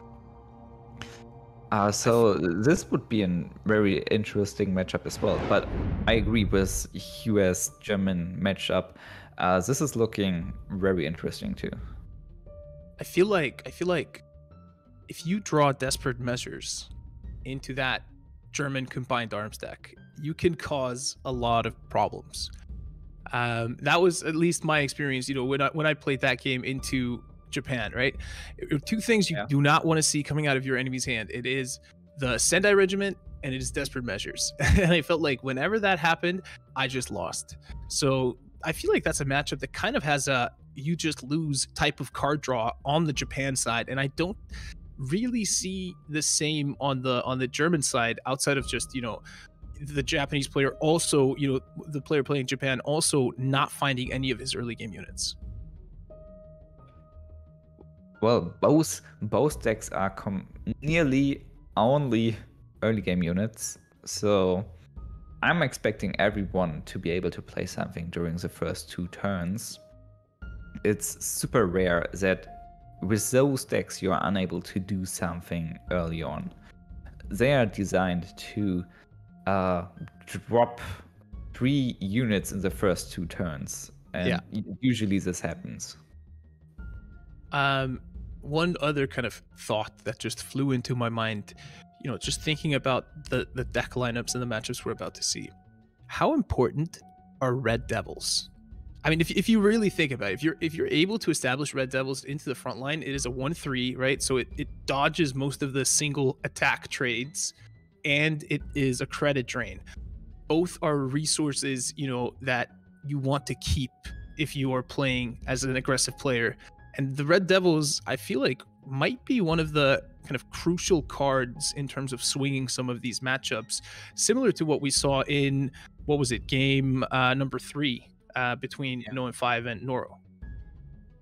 Well, I think uh, Red Devils and United We Stand are the two cards uh, giving the player using US uh, one advantage. Not not only because you are able to trade maybe one for two uh, with the Red Devils, but because of the tempo your opponent has to use more credits, and if he needs to attack with two units that are additional two credits while just clearing the front line, if the Red Devils are able to get there in time. This is so massive against J Aggro and the combined arms deck. So Red Devils are very, very important and of course, United We Stand is also very important. This can clear out an 22nd infantry unreachable for anything else while giving you ramp, what is kind of ridiculous. Um, Brit Brit Air is using this credit advantage, this tempo as well. Uh, but we might overlooked uh, that US Poland is using the same mechanic. Uh, of course, it's a little bit slower. There are not as many one credit units like like the Swordfish or the Gladiator. Um, and the Chocolate Boys are a little bit too slow. For example, against J but they, they are just there to to waste some time. Um, to yeah, be like cannon, cannon, a cannon fodder, cannon fodder. Cannon fodder, yeah. Cannon fodder. Kanonenfutter. That was a very German way of saying it.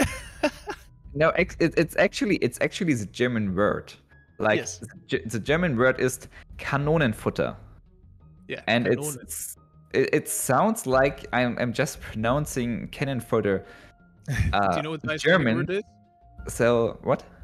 Fallbyssa. That is that is canon in Icelandic. So you got you you have all the languages. Everyone's kind of you know kanone, canon, and then Iceland goes fallbyssa. okay. I, just understood. Fuck Yeah. Is this even close? No, fall. It, it's like F A L L B Y S S A. Fallbyssa. So, whoa! It fuck this bizarre. No, I, I, I can't. I can't. It's too hard. well, I mean, I, I just want to give uh, people a heads up. We're not just uh, vamping here for no reason. Uh, one player is having a difficulty uh, connecting into the challenge, so we're just waiting for them to uh, get into the game. Uh, we- Mark just called us out. It sounds like you're cursing darkness whenever you try and say this, uh, but you know, uh, he is I not. feel like I'm, I'm cursing. there we are. There we are. Oh, look at this. Japan versus Japan here in the first match between Tang Tang and Artemisia. And I think both players were hoping to get their Japan deck into the opposing German deck here. Maybe, maybe. I, I don't think you really want to get into the mirror matchup. Uh, be- because it's definitely a 50 50, and usually whoever is going first has a little advantage. Although, uh, this Panzer Befehlswagen maybe change that. So, yeah, uh, Tang Tang going in to the front line with cavalry regiment and Panzerbefehlswagen is looking like a massive start. But obviously, uh, the first signal regiment having on field from turn number one is huge. oh no, Tang Tang just got the second raiding brigade. Yeah. So now he's able to build up more pressure or even block more uh, front line with the bicycle regiments. Acceptable plays.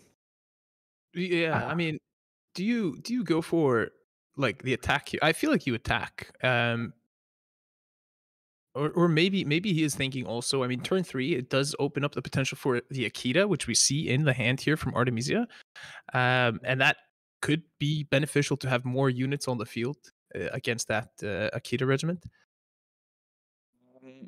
Yeah, because he is probably planning to play um, the first, uh, the second raiding brigade next turn. Yeah. So having more units on the field could be could be very beneficial. Well, he's opening up a little bit against desperate measures, but Artemisia they don't have it. So no, it's just the play killing the first signal regiment going into the front line. This looks really good for Tang Tang here.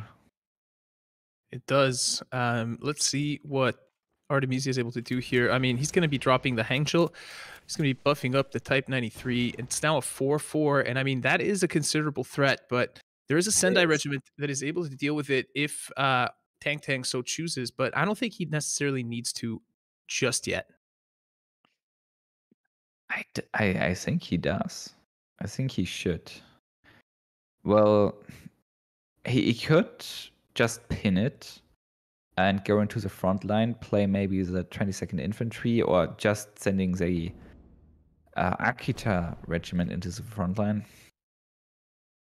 Well, I, I don't really like all of those options, but going for the card war looks looks very solid here. Um, the most important part is now the front line because Uh, yeah. Artemisia needs to he needs to deploy the 22nd Infantry Regiment first. Yes, thank you.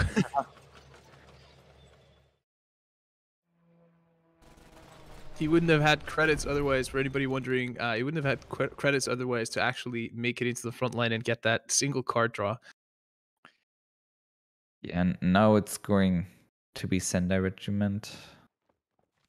Yeah, on the Type 93, and that means, you know, if he so chooses, he can. I mean, he can run the Bicycle Regiment into this, but Yeah. this this would have also created a more favorable trade situation for the Wirbelwind on the next uh, turn. So Sendaiing that Type 93, of course, get rid of it. Wow, look at that. Akita able to block more frontline and the double 22nd infantry. Ooh, the desperate measures looking so good in in order to control the board. Tang Tang Tang Tang really needs to to get rid of those 22nd infantry regiments. Akita regiment is brave so. Oh, but Artemisia's Akita takes face. He, he was probably wanting to to see that 22nd Regiment uh, actually leave the field because Yeah. now such a favorable situation with the Whirlwind and another Whirlwind. It's going to be a tough time targeting uh, trading this out, but Sendai off the top allows Artemisia to take control of the front line again. He can play a Type 93, uh, Type 94 as well. the Sendai top deck able to control the front line again. So he's going to find more card war and finding a Wirbelwind for himself. Oh, another Sendai regiment. You can Sendai the Sendai to get back the Wirbel. and and when that whirlwind comes back on the field, it's going to have blitz. Um, so, but look at that. That is a big whirlwind. All of a sudden, man, that Henschel so huge. This is a lot of damage. Five damage and drawing. oh, it looks so similar what both, both player are playing. Well, he's able to kill. He's able to clear everything. Look at that. Artemisia able to trade into the Wirbelwind with everything. And after that, using the desperate measures. He, he needs to, to pop the Sendai regiment first. So the desperate measures is killing the the well not killing but uh, damaging the Wirbelwind. Is he going for it? I think Looks- so. Yeah, looks like it. So it's going to be two, four, and then yeah, Look at that desperate measures. Killing killing three units, damaging two more. Wow, we're getting Giving the Type back. 93 back. Do you play Mito? No, he's just going going to attack. Wow. That was a massive, massive turn by Artemisia. I think that's probably one of the most impressive turns I have seen out of a, a J aggro deck, uh, especially in a mirror. That was an awesome turn to watch. Yeah, this was this was really nice to to witness. Sendai regiment clearing the front line. He's able to pin and just going into the front line attacking. Now he, he chooses the path of the most potential damage. Both players are running out of cards now. It's it's getting even closer Yeah. And well, bicycle becoming- regiments, bicycle regiments were clearing the front line. Uh, will take the front line. What is he doing with his with his tank? Would you just trade other buff tank? Yes. Yeah. and I think I think that's interesting, right? Um, he recognized you know the potential of losing it even if he kept it in the backline and you know felt like it was more important to just get all buffs off the field instead of leaving it alive and it, what he probably would have been caught out you know by the desperate measures because Tang Tang can, if he wants, get rid of that Mito in the front line and have a Panzer 35T in the op uh, in the face of his opponent uh, at the end of this turn. So well played. I, I yeah. I believe this is a good desperate measures. Yes. Reducing the hand card so Enigma won't pay off. He's able to maybe even using Sendai Regiment to deal pot- potential three damage, total five this turn to the HQ, and maintaining three units on the field. Yeah, the Sendai Regiment like is is damaged now. Yeah, he's he's doing it. But what is uh, what is Artemisia going to do against it? One top deck is is not enough. Well, he's not dead yet, but he is very, very close to being out of this first game, out of a potential five. Akita Regiment coming in as well, pouring on the pressure. That Sendai is going to be moved up, I would expect. Also, I mean, it's not going to give back a guard or anything. No, keeps it in the back line. Not hmm. threatening lethal then next turn. Well, the Akita regiment oh! is oh the 33% hit, not killing a single unit. I mean, it, there, there's a there's a whirlwind under that Sendai, right? Yeah. So if that Akita had hit the had hit the Sendai, that whirlwind would have come into play and had blitz, and he would have been able to control the front, front line. again. And Wiping she again with 11 credits. Oh my Just enough. god! Artemisia with the top Ooh. deck. Wow! An interesting strategy. wow! Yeah, that that top deck. I was thinking about it, like how is he able to come back? And I was only thinking about yeah, 11 credits, Shiden double tech no matter the the unlucky Akita hit from before, but man, wow, that was one of the all-time greatest J aggro matches that I have seen. Um, both players played extremely well, um, but I thought Tang Tang had it. I thought he had yeah. it. It was, was so close. But yeah, the she- the top deck with 11 credits, 8 damage. It, it's a lot. It's huge. And you always need to be aware of the uh, of the Shiden. This is one strength of uh, J aggro. It's so explosive and always finds a way to kill you. And look at that, US against Germany. Wasn't this what you asked for, Ollie? Yes, this is what I want to see. I want to see if Tank Tank is able to win this one out. He's not going for the Red Devil. I think he's going for it next turn. But Dude, I mean, put it into the front line, maybe. Well, I guess it's smarter to go for the 32nd Infantry because they're able to trade better into the front line. They have more damage, and Red Devil has has Blitz. Yeah. Uh, that's interesting, though. I I wonder why he didn't use the Jaeger regiment yet, but maybe he's just going to uh, prevent trading. No, I still don't really get it. I'm uh, not sure, but at least he's going to be able to get the Panzer 35T out as well this turn. Um, so I mean, it is pouring on the pressure, but I would say definitely alternative lines were available. Now, whether or not they would have been better, uh, I don't feel you know confident to assure uh, people of, of one thing or another in that regard. Yeah. Even even with this trade from the Henschel into the, one of the 35 uh, 32nd infantry, the Red Devils can come into play and actually, you know, fully trade out this turn. Mm, Unity no, is strength. They don't, they don't, have enough credits to kill the tank oh, now. Oh no no! It, this is to protect the tank. He traded away his Henschel. Yeah, and this this was really smart. Not only yeah, yeah getting rid of everyone trading into the tank, killing it, but also reducing one infantry, weakening Unity's strength. So now this puts a lot of pressure on Tank Tank here. Yeah, this is. So Uh, this- well, I questioned the mm, play before, but the 3 5 tank in the front line is looking huge. Yeah. And oh, a combined arms as well can make it even bigger if he so chooses. And with that, and- he can he can put that on the Hummer. Yeah, he That put Hummer's that gonna on- be massive. It's 3 3 with Fury, 9 damage. And he can he can drop the Panzer 35T and trade out the Hellcat. So there's Yeah. no response.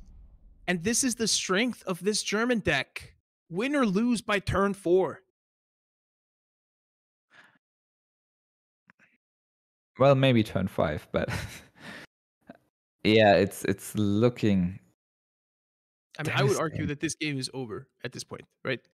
I mean, underground underground state can throw that Hummer back, and it may buy him a turn. He's still going to take five damage to face um, without anything being played. Next turn, putting him down to three, and you know that way he can do it is just healing you a little bit too slow for him to be able to keep up with the pressure that is coming out of Artemisia right now.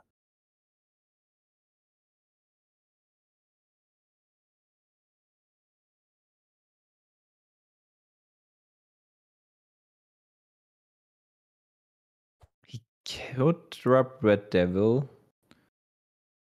And we can Unity Strength onto another and trade out the Humber.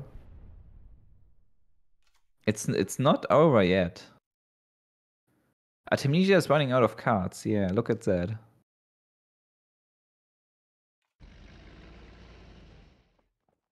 Of course, going into the front line, he has to to attack. Maybe he he needs to kill the five one unit here in order to protect his his little tank. Yeah, But now, ah, the Legion guards are coming into play. But do they? I mean, uh, this is so awkward from a credit perspective, right? Because if he has six credits, he's able to take the front line again. If he's not able to take the front line, there's a potential Hummer in the back line that can be buffed and has Fury, and and that's just so so so dangerous. So kind of he has to play the legions to get those two guards in play, or Well, an underground state is better because it gives you one guard and sending back the other tank, rem- uh, getting rid of the buff. Now the Humber is getting getting buffed, able to kill the legions. Uh, attacking for three, it's getting really close. It is. Red Devils. I mean, okay, okay, okay. Plan West. Red Devils. He can trade out the Hummer and have two guards up. So This is looking fine. Uh, if you're not looking at the two HP left from the HQ, yeah, everyone watching at home, put your hand over the the HP total of the U.S. Uh, headquarters and just think, oh, how how do I feel now? Oh, I feel pretty good. You know. this is Not- not what they want to get. Well, That is- definitely. It's definitely not what they want to get. No, no, no.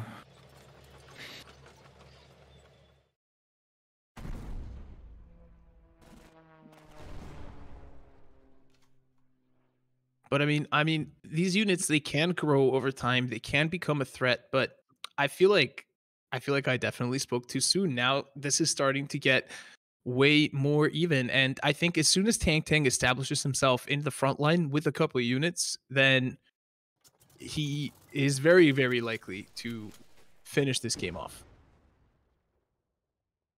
Yeah, it's looking. It's starting to look awful. Uh, for Artemisia. I just checked the deck list again, and Artemisia are not running Enigma. you know the nuances between the deck lists.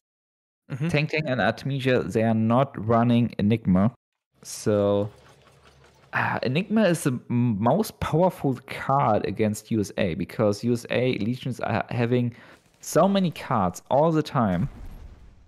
But now, without this powerful draw engine, uh, Artemisia is lonely grinded to death. It looks like. Yeah. And how you know this this basically ended up being as close as it could be. Tank Tank surviving with two HP on his HQ, now getting that up to five, and the board in hand is starting to look fairly dire here for Artemisia.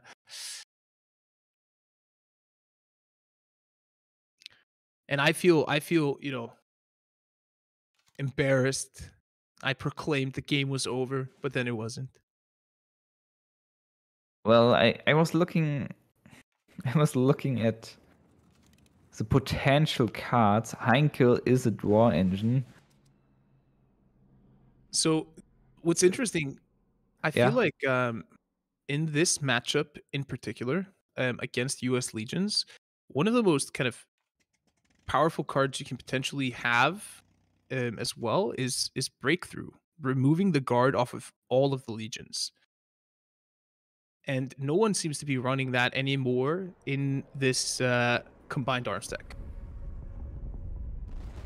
Even a single right. copy of it would be extremely, extremely powerful. And and I wonder, I wonder, also, you know, uh, we're seeing a couple people bring a single Flammpanzer, but maybe you should sh- sneak in like a sudden strike there. I don't know. Maybe I'm maybe at that point you're ruining the deck and you're ruining, you know, the potential to to deliver damage or, or draw the correct cards, but could have helped in this uh, situation. Could have helped. But we are all tied up here, Yeah. one to one, and Mhm. we just saw U.S. legions, as close as it was, managed to find enough cards to hold that combined arms deck at bay, and and I think that kind of I win some points back, you know, um, for for at least correctly predicting that. Yeah. I give you that. But on the other on the other side, um Artemisia now could just play USA into a relatively good matchup, I believe. Well, Artemisia's using Germany again, this time against Japan. We we also po- pointed out this matchup uh, because I, I was expecting this to be very interesting. And look at that. Tank Tank killing out the Hamba with one cavalry regiment, going again into the front line. Yeah. So many Humbers. Is this just four? four of those little tanks? Ah, th- it's it's in full army, like in tank Yeah. regiment. But I mean, it's still difficult because of the units that Tang Tang has been able to find, right? He can trade one of them out, um, and that Akita regiment is going to be a three-one in the front line. Trading out the golden one, of course. You know, you don't Yeah. you don't let your opponent have Yeah. bling on the field. A second 56 Jaeger regiment, look at that. Reducing the operation cost to zero, then the Henschel. This is plus three, plus three. And this Humber is eating the Akita hit, still survives. Now it he had uh, they have to attack into the HQ. Can't really trade everything, but the damage is done. No, I mean that was massive. That Akita procking right there. Panzer 35T is more than likely going to get played here. Oh, the uh, it doesn't have any infantry. Uh, the infantry would have been such a crucial thing to have on the board right now, but uh, slightly, uh, slightly slower turn. But he's going to trade in with the Type 93. Yeah, Yeah, pin and trade. Ooh, the Heinkel. The Heinkel, another like the card draw mechanic here. Yeah. it's uh, nice to have. On the other side, Tang Tang is having Feigned Retreat, and as Bubbles pointed out earlier during the first match, Frightened, Feigned Retreat turn 6 is very scary. Yes. And I believe that's exactly what we're going to see come out here. Now the question is just what can Artemisia draw in in that like slight dip in tempo, you know, where you have to spend your full turn playing Feigned Retreat and have to wait one turn. Um, is he able to find, you know, another Henschel um, where he can drop another Jaeger regiment, get another uh, 4 6 Hummer or 3 6 Hummer? 3 6? 3 No, 4 4 5. 4 6. 3 5. Yeah, 3 5 or 4 6. Yeah. Ah, the Heinkel coming into play. Just cost so many credits.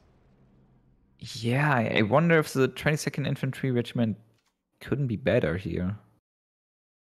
It's Frightened, Feigned Retreat, definitely. Yep.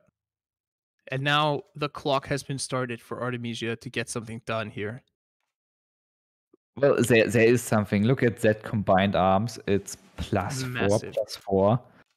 It's it's not three five, not four six. It's five seven. Yeah, and zero op cost. That is all going to get delivered to face. And he was looking for another combined arms for a potential lethal there, but does not find it. So now is the question is Tang Tang able to find seven damage to trade into that Humber before the start of next turn? There's two. Sendai could work. But this is just four damage. No! Won't do. And no. as soon as he sees the Shiden hit the hand, he instantly surrenders. He knew his fate was sealed at that moment. And combined arms, combined arms operations just showing their strength here in cards. That was a massive humber. It, it, it was the last humber. He watches he watched all of his friends of his humber friends going to die and got his revenge. Well, in Sendai Regiment top deck could have changed the field. But sometimes you need the Shiden, you get the Shiden. Sometimes you need the Sendai Regiment, but it's still Shiden. top deck last turn.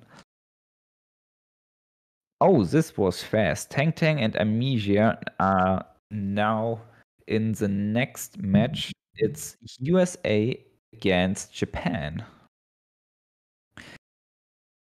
I I do believe US US has the edge here just a little bit because it's not going second. With USA against Japan going first, it's awful to play against. But on the other side, if Japan is going second, still able to get it. USA is not finding anything. Ollie, Artemisia is not having any one credit infantry unit, no unity Nope. strings. And I mean, let's say let's say he drops the plan west next turn, which he probably will, given the pressure that is being put on right now. There's a desperate measures in hand that is just going to clear that right out. Yeah, but also desperate measures is reducing credit slot, what is really hurtful if you're going second. I don't believe Tang Tang is going to sacrifice that. I mean, he's going to have two bicycle regiments in the front line that are going to be buffed up with zero operating costs. Okay, he, he just did it. Yeah, I mean, so I, I would agree with you if he had units on board like Akita regiments or anything that you know cost to operate. But just because of the hand that he has right now, this game is over. It is over next turn. Like, Well, 10 damage in the front line reduced to 6, but there is an Panzer 35 T. This that is game's done. exactly 8 damage, and this match is done. And Artemisia wins. what? Oh. um, I think, like, I think I'm not wrong when I say that that is the fastest tournament game I think we've ever had. And I feel like a, just a recurring theme that we're seeing here is zero operating cost can put you into god mode. Yeah, zero operation cost is definitely a thing. Well, most of the zero credit cards got got nerfed or changed uh, over over the days, but zero operation cost uh, is is not touched a lot. No. And we are now in game number five. And I'm looking at the stream, and the stream is on a 15 minute delay, and they are in game number two. So you look at the combined arms, it's turn two, three five Hamber in in the front line with zero operation cost.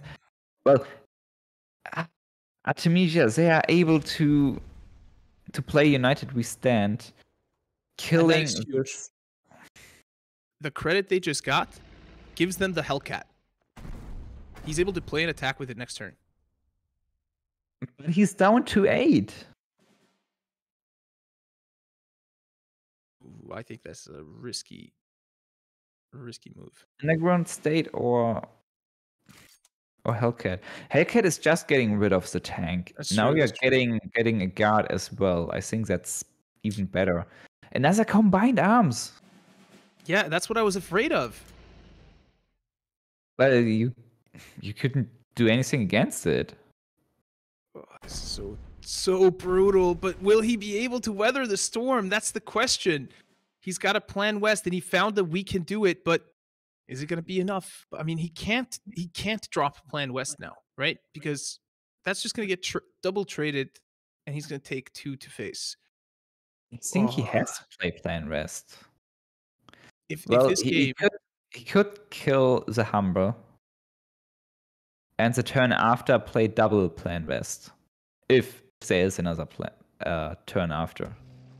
Yes, if there is another turn after, that is uh, the crucial thing.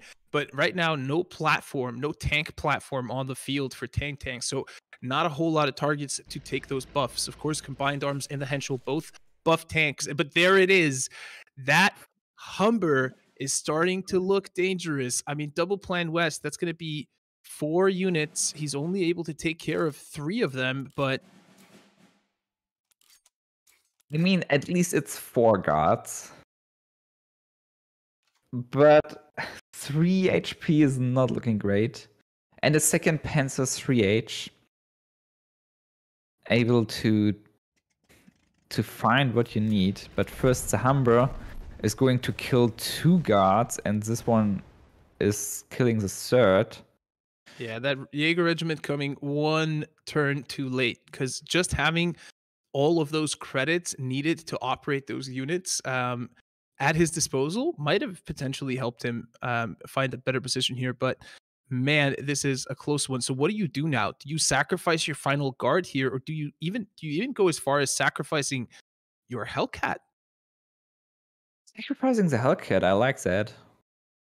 The other option would be we can do it and the guard survives with 1 HP, but the Henschel is able to kill that. So Hellcat into the front line and playing more units on the field looks like the way. Although we can do it is giving you 3 extra HP, so uh, maybe I would have went with we can do it. But of course, keeping the one guard alive, both both know each other deck lists, and tanking is having is, is playing the comet. So you need to keep the guards alive. He's not just playing the comet; he found the comet. What was that? The Panzer 35T? Yeah, Panzer 35T to to kill. He's getting rid. He's getting rid of the guard, and able to deal one more damage or getting into the front line. I, I'm gonna say, you know, if if Artemisia manages to somehow pull this back, we just got like two insane combined arms versus oh, and look at that another Henschel. That that Henschel is gonna buff the two four body of the Panzer 3H, and I don't think Artemisia is gonna be able to deal with that. There's no guards off the top of his deck. Can he block it? No. Maybe maybe he can block the front line, but the comet the comet is always going to be delivering damage. Yeah, the comet is the biggest problem here. Oh, the pearl buffed itself, so four six in the front line, really nice to have. But maybe just Comet attack into the HQ and Henschel attack into HQ, reducing the HP to one. So Comet one turn after is enough even to to kill him through. The second we can do it. Well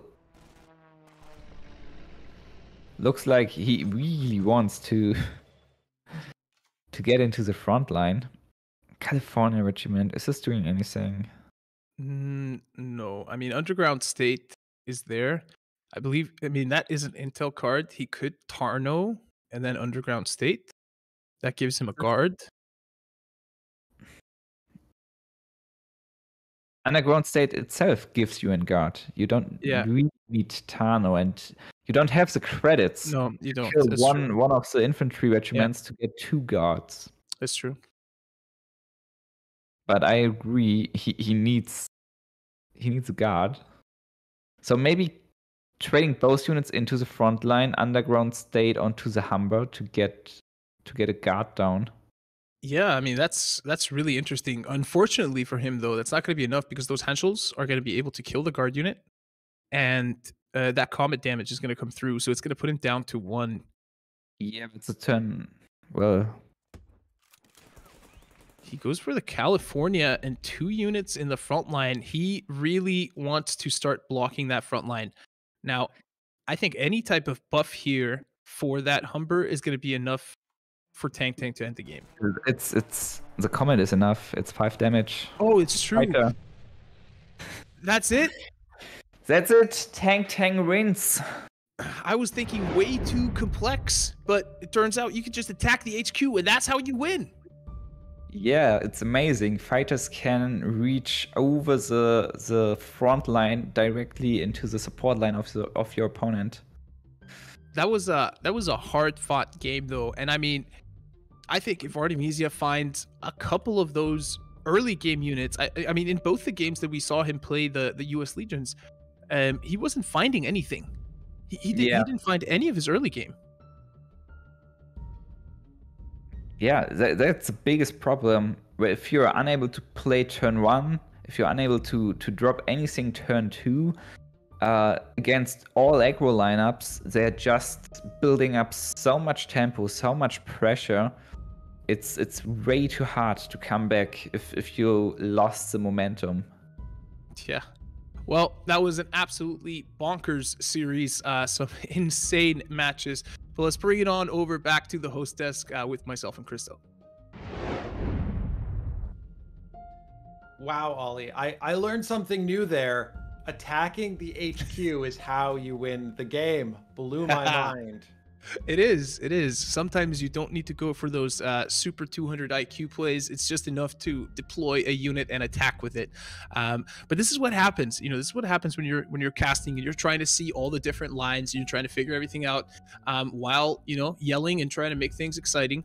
But um, yeah, I I gotta say, you know that that Japan versus Japan matchup is just one of the craziest things I've seen. And you know that series, I, I I worried that we would get, you know, that all our games would be like that four turn win, and we would just basically be, you know, you and me wrapping up right now. Thank you everyone for watching. But like, no, we're getting like really entertaining slugfests out of these guys because they are really good pilots of these decks and they are able to solve problems that most people on ladder aren't able to solve. So uh, this has been awesome so far. It's exactly that. And you just mentioned, you know, you've got cast, you're checking out all the lines, you're trying to trying to keep things energetic and exciting, but I don't think you had to work that hard to make that last series so exciting because of exactly those reasons you spoke about. You know, you you called game 2 a little bit early, but that's exactly the scenario that comes up, right? These players have we talked about in the war room, we talked about it leading up to this. They know these decks so well. They know these matchups so well. So they end up in a situation where they go, yeah, my my HQ health doesn't matter because I have my guards up. I have my, a hand full of cards. I have all the tools I need to come back from this. We saw uh, Tang Tang do that in game 2 mm-hmm. And at the same time, in game one, you know, we saw Artemisia just top deck a win. So, you know, a lot of times you can have all the best intentions in the world. You can have your game plan sorted up. But if you don't draw the cards in the right time in the right place you may not be able to pull through that. And again it just comes down to these players being absolute pros knowing how to use their resources in the given matchup. And that's where we see all these nail biters these absolute slugfests when you know aggro versus aggro can very much be that four turn win sometimes. Yeah and i mean i would say a lot of players would have surrendered mm-hmm. sitting in that situation that Tang Tang was in with two HP on his on his HQ, you know, s- staring down all that pressure, they would have just been like, um, you know, ah, screw this, ah, surrender, right? But I mean, like that's why they don't have seventy percent win rates like these players do. Um, so I mean, just kudos to to all of them for amazing play because uh, yeah, this was awesome. Let's let's bring up the bracket because we now know what our grand finals matchup is going to be, and we know what our third place matchup is going to be. So it is going to be Artemisia taking on the well relative newcomer, only six months since he started playing the game, Noro Uisti. I don't know how to. I'll call him Noro because that's really yeah. Um, it's, it's a nice little nickname. But then in the grand finals, it is going to be Tang Tang taking on No and 5. And I'm I'm looking at that as a huge match because Tang Tang has really been kind of challenging that that top dog spot in the in the Chinese community, right? While we saw Hui Hui come back last OCC and kind of you know say, hey, I haven't left, um, but but Tang Tang has been vying for that spot alongside No and Five that kind of took the torch from Hui Hui at that point. Um, and then Artemisia has been, you know, just that one step away from from you know securing the series wins over these guys. So Tang Tang versus No and Five truly is uh, a battle for you know supremacy within the Chinese community. You've got No and Five defending their Open Ten championship. You've got Tang Tang coming off uh, a loss in the grand finals to Artemisia in the last OCC. I mean, you, have got two absolute titans who are on fire right now, going to go head to head, and then you've yes. got you know that relative newcomer who's looking to to find their foothold in this as well. There is no lack of talent coming from that Chinese community, so it's going to be exciting to see how these last two matchups play out because I think that's going to start sorting out some of that uh, that fight for being top dog. Yeah, um, I mean, I just I think it's awesome right? Like i just i just think it it's awesome. And i think i think like the chinese community deserves so much praise for being such a tight-knit supportive group um and and really you know proving themselves against you know the rest of the community right? Like let's be real they got they got four out of four top spots this KARDS open right? Um and and they've they've kind of represented themselves as a team. And they're they're a really big team, right? Sure, they have a lot of players, but their players are delivering results. And I'm I'm just super super excited to see you know where this leads to next as KARDS continues to grow as well. You know eh, things like regional regional competitions um, and kind of regional esports structures with you know the Chinese champion taking on the the North American and European champions and all that kind of stuff. Those things become possible and you know if if if we have this group i mean not just the chinese community but everyone else you know not the casters all the top level players if we have this group to build that regional competition with uh, i think the the future for KARDS competition and KARDS esports is extremely extremely bright Absolutely. There is so many great things going on. I was talking about it at the top of the war room, just with everything else happening, right? That two year anniversary KARDS, uh, the mobile game coming out, which is going to be absolutely huge to, again, getting that, that sense of community because you're going to have more players who can get access to the game. So that is all going to be a really, really big aspect of what's to come. And I think Bubbles said it really well during the war room, where when you're prepping with teammates, or in this case, you know, country mates, you don't have to think about, hey, am I going to beat you? Am I not? Let's all just finish in the top four. We'll, we'll duke it out once we get there, but let's plan to be the best we can be and perform well. And we've seen them go ahead and do that here. And I think that as that community starts to grow around the world, I think we're going to see a lot more of that. A lot more players yeah. competing with each other, but only to figure out, hey, what's the best direction to take here? Now let's go crush this tournament. So um, as many people know, you know the uh, the mobile beta, the first ever mobile beta, is underway, right? And what was awesome for me to see is like this this is the very first build that we put into the hands of players. There are plenty of bugs still going on. There are plenty of there's plenty of work still to get the game to a polished state that we want to do. Um, a lot of kind of the ui user experience that you guys have gotten used to those are going to be changing in the coming months but what happened within a week of putting that build into the players hands we had like 15 players in field marshal you know grinding it out you know just within the mobile beta and that is a closed environment and everyone was putting in the work and i mean you need to play a lot of games to get go from rank like 25 all the way up to field marshal right so uh, there's also passion coming in on the mobile side. It seems to be a good experience. So, you know, we are extremely, extremely positive. But uh, I believe we're ready for the next match.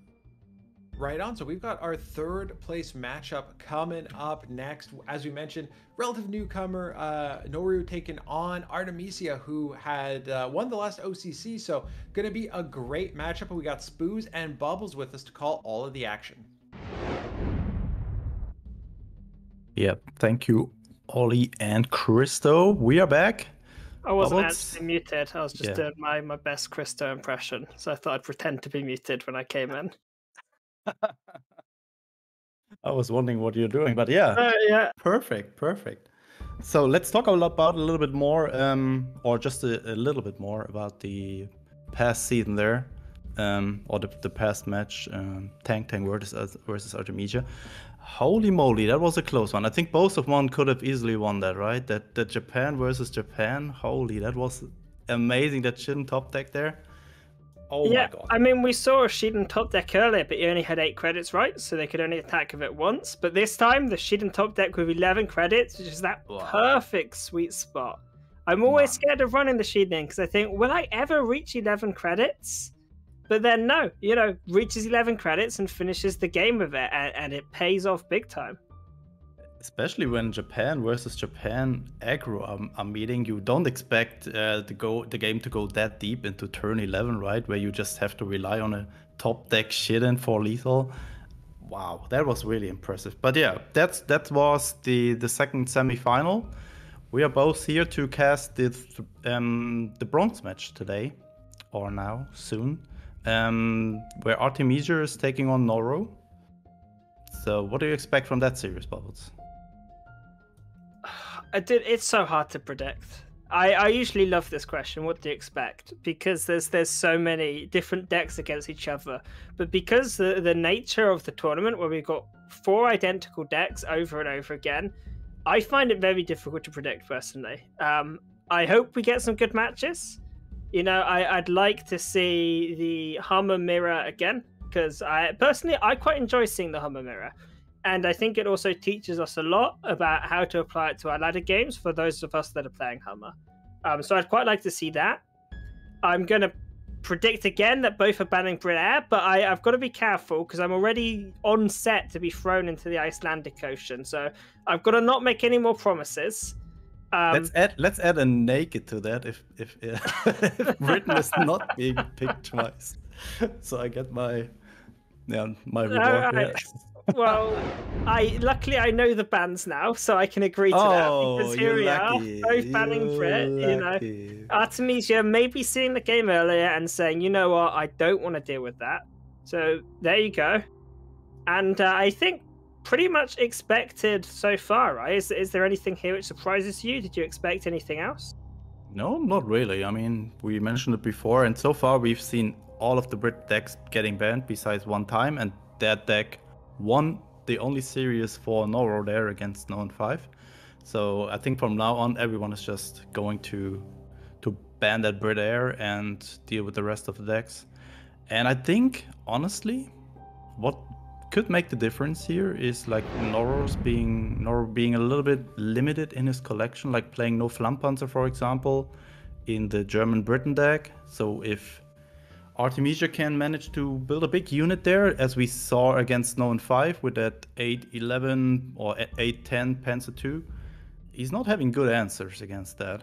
And mean- that might make the difference in the end. For me, one of the big questions is is the no Flammpanzer a decision or a lack of collection? Because you said it's a lack, might be a lack of collection, but it's only a limited, and I feel like it's a limited. Yeah. A lot of people get very early on, so I, I'd be very curious to hear from them whether that was an intentional decision, whether it was like a bit of an oversight, or if they just, you know, were, were limited by their collection.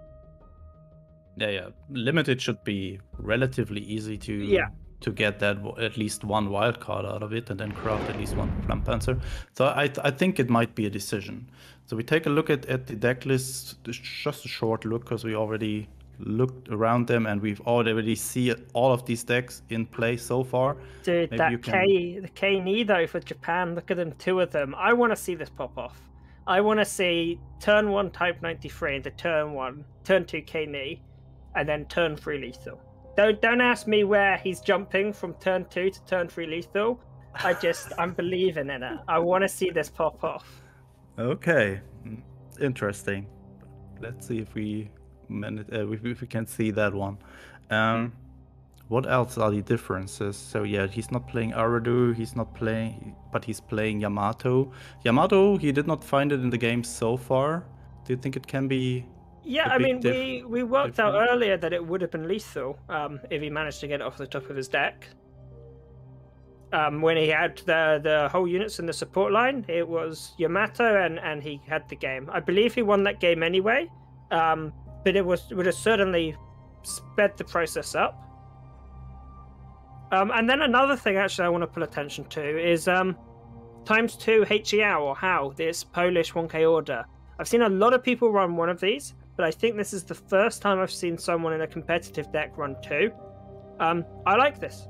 I, I really like this. I feel like it combos super well with Tano being a 1k intel. Um, well, what about you? Do you feel like two is too many? You should have gone with one, or Yeah, I think the usual difference is just put in the hail over the Orb Orgel. So these are the two one drops that are the Chinese competitors just switching Yeah. just on preference. Um, I don't know. I think I prefer the Orb Orgel maybe a little bit more over that one because it's just giving your legions units the ability if they survive they get an additional plus one plus one. I'm not sure if this is better than the Orb or Gel, but I think it's just personal preference, right? And I think more players are preferring the Hail over the other one, so maybe Hail is a little bit better. I don't know. What do you think?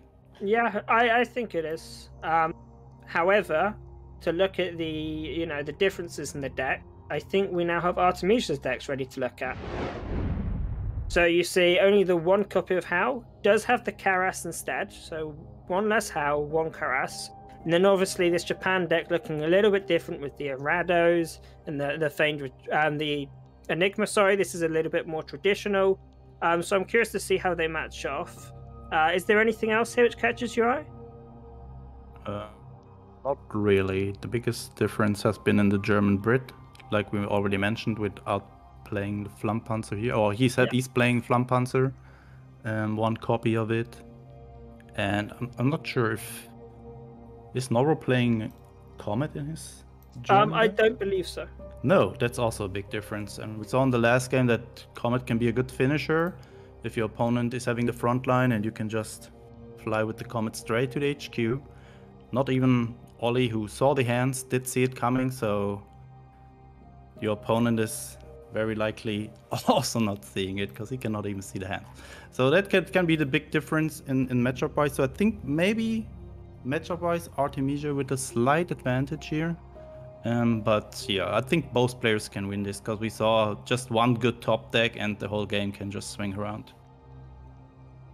I mean, I also think having this Comet earlier may have pushed um, Noro to go for this blitzkrieg rush face strategy. And, and if you have two ways of finishing the game with that, it's more likely to push you to be more aggressive, and, and that can pay off where you know in the right scenarios, of course. So it is definitely something which changes the dynamic of the deck. Yeah, also your opponent has to play a little bit different, right? When he knows you have the Comet in your deck, that can, whenever you want to, deal 4 damage to the face. He needs to guard up when he's playing that US deck, for example. He needs to make sure he has some legions on board. And if he knows you don't have that, he can just flood the front line and knows that you have no way to dealing HQ damage there. Yeah, yeah, and it's especially nice with this um the these you know spoils of wars that you get from the bomber, and then obviously got the tank which acts as a spoil of wars. as Well, it lets you find the comet in these scenarios where you need it, and in these scenarios where it's completely useless, you just chuck it away. Yeah, Absolutely. So we're just waiting for the players to find their match here. I think Artemisia, who just had his semifinals a few minutes ago, needs a little break. So we're just waiting for him to to return, and then we can jump into the bronze match for today. Do you know how many, how much money our ranked four and ranked three are taking away today? I think it's a difference of about half a million dollars. So there's definitely a lot at stake. Um, I think it's 200, 250, I guess, if I'm not completely wrong. uh, I believe it is. Uh, however, we should have it for you in just there you go. So Oh, yeah, it's a difference of fifty dollars. Um, fourth gets two hundred, and then third gets two fifty. Um, and then fifth to sixteenth actually get some gold. So myself and Darkness are going to have some gold coming our way. And if there's one thing I know about gold, it's worth more than any amount of dollar. So I think we're the real winners here. You know, gold is valuable stuff. Yeah, I have 20,000 in my collection, so what to do with it? What, what can I buy with it? You can buy officer packs. You go full gold collection. Spend a day opening officer packs, an entire stream doing officer packs. Yeah, I opened, I think I, I bought some packs for 5,000 gold just on Friday, I guess. And got one golden, what was it? I got one golden elite out of it, I'm pretty sure. Yeah? Was it, it was? Golden Comet, I guess. Golden that? Comet was it? Oh, that's a good one. Yeah, I'm always getting the golden German elites out of it. Like I, with the last opening, I had the golden in Leopold. So soon we will see full gold German deck oh, from me. Dude, full gold, full elites. That's the dream. You go all elites and all gold. And then you just you get one of like those pimp outfits, you know, like the colorful Yeah. suits. Auto win. I mean, you can't lose with such a deck. No, it- Everybody's just instantly surrendering. It's golden Leopold. Okay, I'm out. the Golden the Comet. only possible counter is a pair of sunglasses. You know, other than that, people are just going to be blinded. Probably, yeah. All right. But yeah. And then have you? I assume you've seen all the recent um, balance changes announced. Yeah, some really interesting stuff there. Like the Spitfires getting changed, what I really like. Yeah. Also in a cool way. They're not destroying it completely, but giving it a nice option. Like you can now have a Fury guy or just a 6 6 4 4 credits, which is pretty impressive. So they not killed it completely, made it just a little bit weaker, I guess. I think another uh, change a lot of people are going to be excited for is this uh, California change. Right? You know, a, a lot of people take a disliking, we'll say, to, to California Regiment. Um, so this change, you know, makes it weaker to orders. It, it should make it less oppressive. Um, Yeah, especially in the lower ranks. You cannot imagine. Like we are we are in in in our in our area, we are just used to having a lot of removal, like Lion for a day. We have annihilation. We have all this cool stuff. But in the lower ranks, you don't know how annoying a California is. Yeah.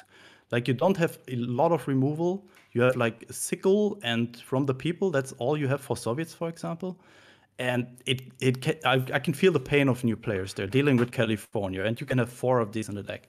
But let's just get into rec number three, uh, match number three here. we see Since the Japan players versus are already at the Germany. mulligan. Just a note for new players who, who are looking for a little bit of a boost. Head over to kards.com forward slash decks, and there's some uh, some new improved player starter decks, right, Spooz? Yeah, we just created them um, a week ago, two weeks ago. There will also be some follow-up video guides about it that just describe a little bit more in detail or or visualize what to do, how to start your start your collection growing, what KARDS you want to look for, and I think it should help players a lot. Like with the improved Soviet starter deck, we just finished after eight hours of playing. I think we climbed to Field Marshal rank, and everyone who's just complaining about cards being a pay to win game, yeah, I think that is a good argument against that one. So yeah, kards.com forward slash decks, and then you'll see featured official decks, and just you'll find them under there. But back to the event, we see a Hummer into the front line. Although hmm. Noro able to trade into it, this frontline Humber has been a real staple lately. But but Yeah, Noro finding a way of dealing with it. However, this is still a very very scary hand, and unless Noro can find an infantry, this may just get worse. Obviously, the infantry will allow them to dump their whole hand. Yeah, especially because there's also a bomber on the board now, and an infantry, and a tank, and the Henschel. That is four different unit types, which would be plus four plus four, but good for Noro here, finding the 35T, getting rid of the bomber. Might still see the Henschel trading into 35T with the Panzer 2. This is already starting to look a bit, a little bit scary. I imagine we'll see this Sendai come out, take away that uh, that tank the moment he feels like it. Gonna buy his time a little bit. You know, he may move up the cavalry and then go for the pin. Doesn't go for the pin, saves it, hoping to get the second one, and then use the double pin as a removal tool. But Flammpanzer for Artemisia, very useful tool here. Can clear the Oh, front yeah. line, push up this 4 4 tank and trade. You maybe keep it for the signal regiment? Yep. Probably, right? Because you don't have that much removal besides double um double surprise attack.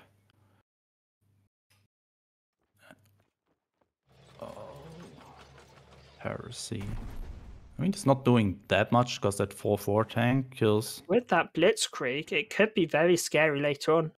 Yeah, I mean, this is one of the reasons, yeah, it's so scary. is you get in the front line and Blitzkrieg, and it's just terrifying.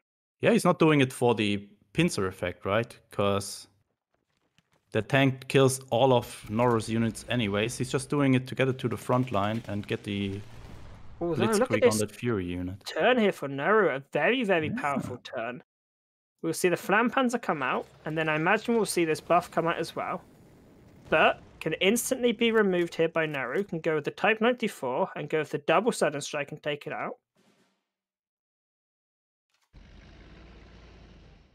Manages to completely remove it. This Type 93 comes out, you can double trade with this unit in the front line. Otherwise, you do risk being completely slaughtered. If a 35T comes off the top of the deck and then you use this Blitzkrieg, it could just be a A complete disaster here. 13 Goes for the trade. This is a very risky move. Oh, 35 and there it is. there it is. Speaking of it, and Artemisia is having the Comet in the deck. and a and lot he's having of spoils of war. Yeah, two two ways of searching for it. But Artemisia hmm. says, "Screw that! I'm going for the trade." Interesting. That would have been 13 damage. And Noro not having a lot of healing, uh, also just zero healing. Yeah, That would mean any Comet top deck would be lethal there. And he's having Spoils of War in hand. Interesting. the British card. I assume it's a Humber. No, No, it's a paras- parachutes. Okay, not getting the value out of the Fury as we all expected. That raiding brigade, uh, bombing raid, what is that doing? What is under that Sendai again? Ah, the the 4-4 Panzer 2, right? Which is now a 1-3 Panzer 2.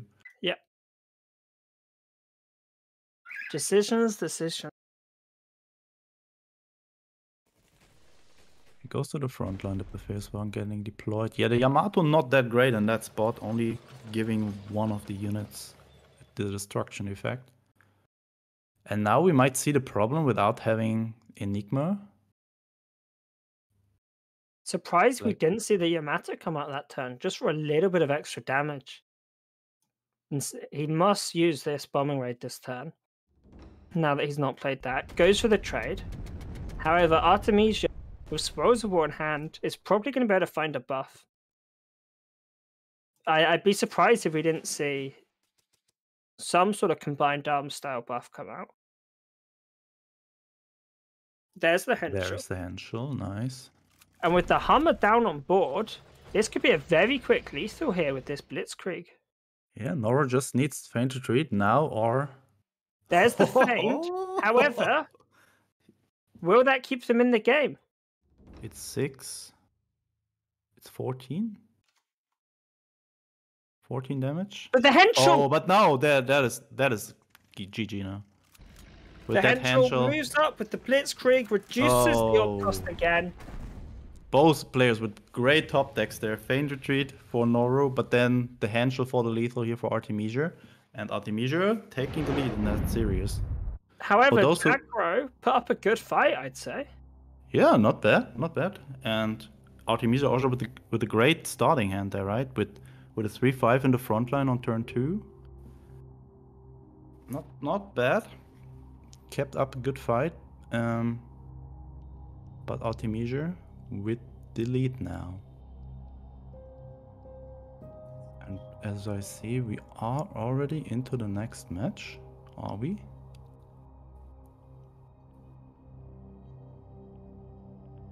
Maybe.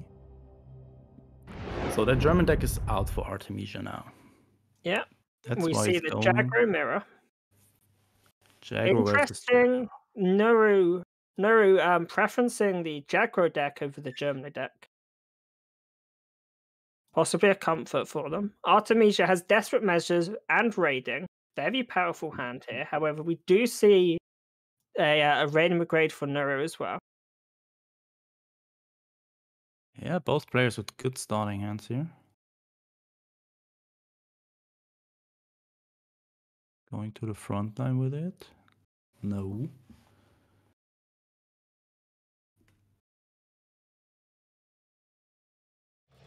Huh. Ah, that's what you don't want to do, right? 35T Yeah, without an infantry. I don't know if I agree with the 35T play. What else would have you done? Just float the 2k. Really? Yeah. Huh. But isn't it important to just have a board there and trade your I mean, take in you- you mind, have- also have desperate Artemisia is top four and I'm not, so you know. Take take my my ideas with a grain of salt. I mean, you have been top eight OCC two times in a row, so Yeah, I wasn't top 38 this month, so I, I couldn't be bothered to try climbing ladder. So, no no bubbles in this OCC. Ah, not playing Which, wise. you huh? know, plus side, I won't be able to lose the Tang Tang in round one. Now, Artemisia has some decisions to make. and go for the desperate measure. Can Also go for the raiding and trade. I think I prefer raiding trade. The only possible weakness to this is it sets up a signal regiment for Noro because you know it'll be safe. Interesting. Trading with the Arado instead. Yeah, um, doesn't make too much of a difference, does it? Uh, no. I think I, pre- I prefer Arado there because if the raiding goes to the front line, it cannot be traded away from the bicycle regiment. Ooh, Ki-83. Would be a good play here. You could knowing, just go for the bombing raid. hand. You could go for the the bicycle and the Panzer 35T. There's a few options here. Oh, but the no- 94 top Oh. Ah. deck gets the double surprise attack. And that But is the surprise attack was really surprising because yeah, that was a superb top deck. wow. Did the heart of the cards. However, we do see this raiding in hand. So the raiding can come out, snipe one of these units, and trade into the front line. But this beautiful bombing raid, it just looks so appealing. Yeah, you have to do it. Kill the one one this- with the this- 15s maybe. I think you go for the, the 15th cavalry trade as well. Yep. No, decides to save the resource. Not the worst move ever. Now, this Ki-83 cannot come down from Artemisia while these two surprise attacks are sitting in hand. Gonna drop it anyway. It will be instantly removed. Yeah, I also expect that.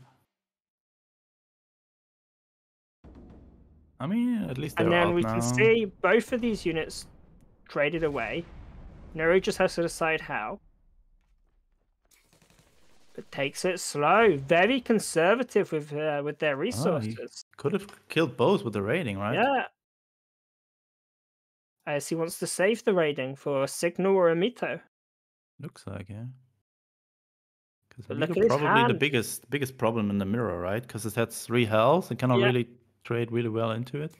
This hand from Artemisia is still pretty scary though, because we could easily see Noro, you know, put a little bit of board state down, see one of them come down like this, and now just go all in on the board. And now we have to see the rating here. Yeah. Rating comes down, goes for the trade. Now I kind of want to see the K come out, but you want to put it on the right side. Right side, right side. Yeah, right. Yeah, side. okay. we saw we saw them thinking about it. We're like, don't do it. Don't do it left side. Shiden, Ooh, another one. Oh wait, bombing rate this turn. goes to six, six, and But then if this Shiden gets dropped down, just next turn you drop the Shiden, hit face. What's Noro doing about it? Noro can't trade into it. Ooh, that Akita might help. Akita may very well help, but goes for the Mito instead. Noro is going to have to trade their entire board to deal with this, and they're going to be on free HP.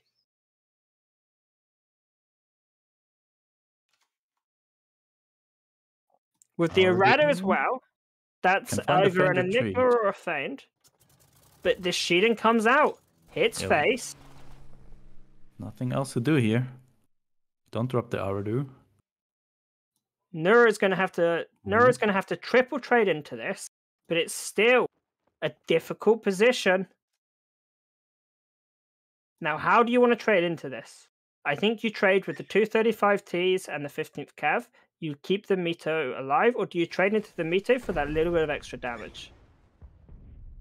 Since he's playing Yamato in the deck, I would expect to the 35T to trade into this, but Thinking about it. hmm.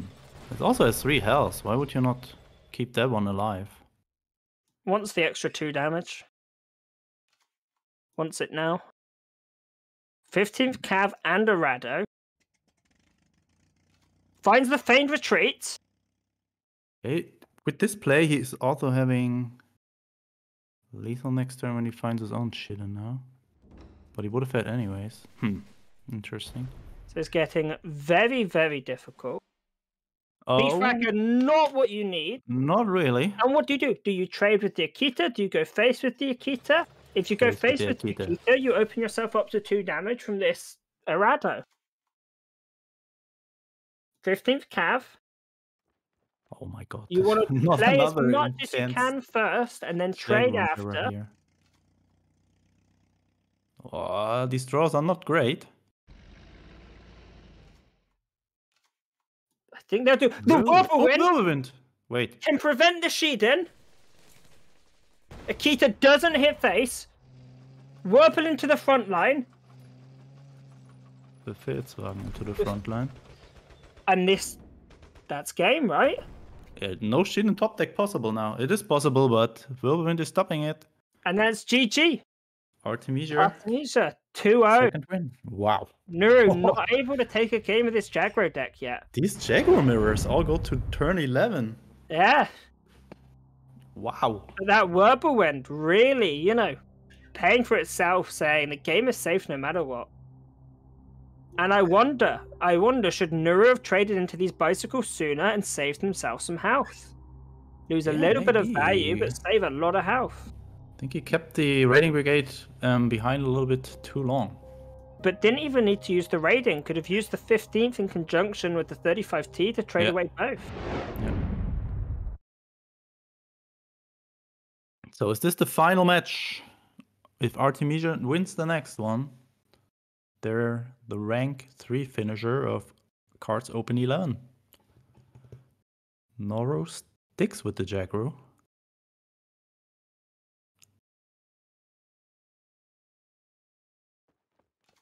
I like Noro's commitment to the Jaguar. You know, I admire it. Good one with the Befehlswagen here. But no 20 second. No faint retreat in hand.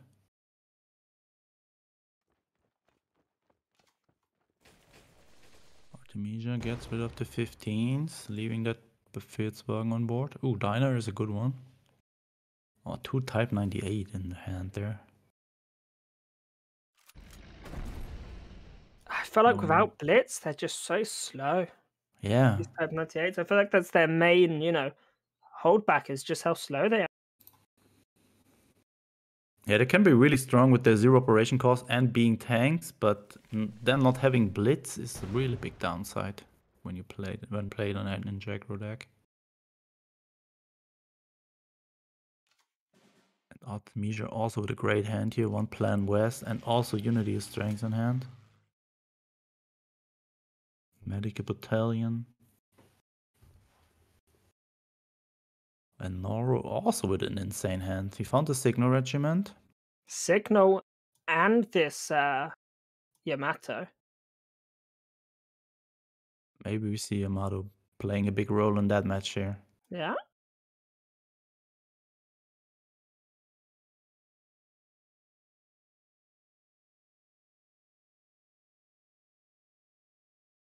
Artemisia playing in a potential into a potential desperate measures here.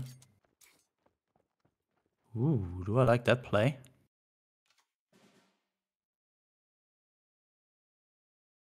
Decisions, Even- decisions. Even bombing rate really good Yeah. now. I think you saved the bombing.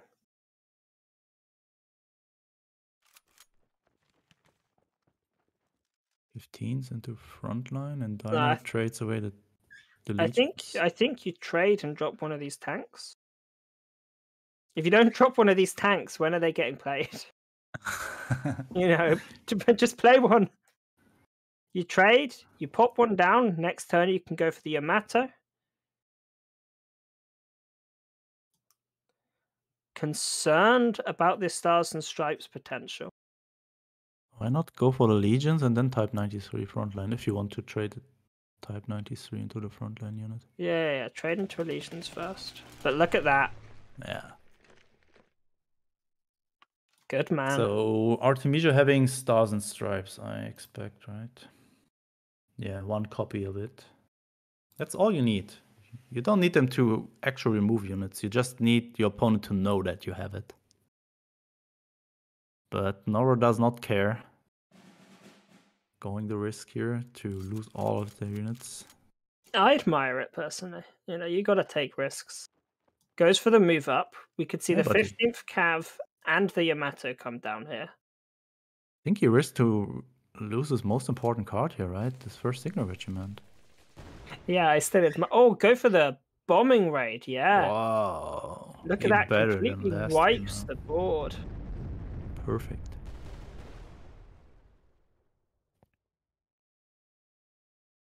Yeah, the hand from Noro looks really scary with that Yamamoto Yeah. and potentially five Japanese units on the board. That is 10 damage to face potentially. I mean, one of them is a signal regiment, so I don't know how much dying it'll be doing. Uh, if there's a stars and stripes yeah. coming out, Well, you can trade it into like a Cali in the front line as well. Which, Yeah. talking of Cali in the front line, but I think do you respond to the Cali by just jamming face with this fighter and then putting down the Yamato? You could even. Uh... Oh, it's difficult. Difficult decisions. Just goes Go for for the Yamato. Yamato. Says, "Do it, stars and stripes me." Take, feel the burn if you do. But look at this. This. California is going to be huge. Look at that. Yeah, and it also sets up lethal in a way. Yeah. With the medical battalion, it can be 10 attack. Which So Noro. is um, lethal. I don't know how much setting up lethal it is.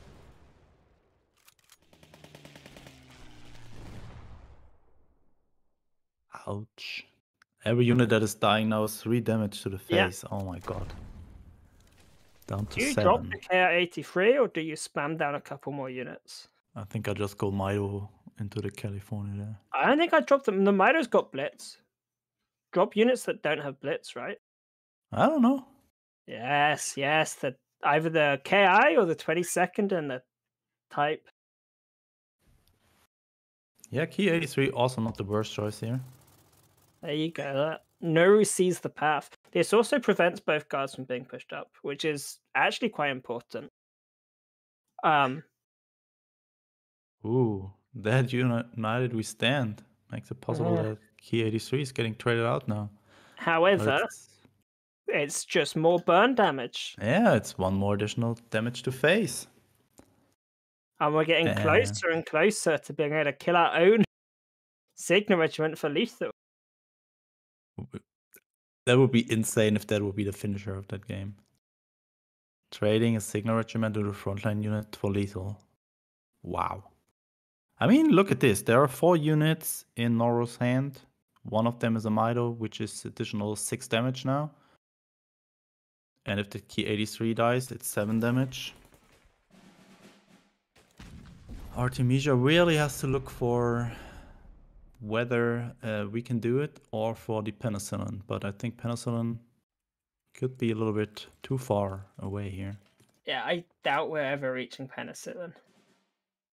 But he tries to go for it. Oh, the raiding brigade though. Can clear the whole board here now. And have a 35T in the front line if he wants Yeah. to.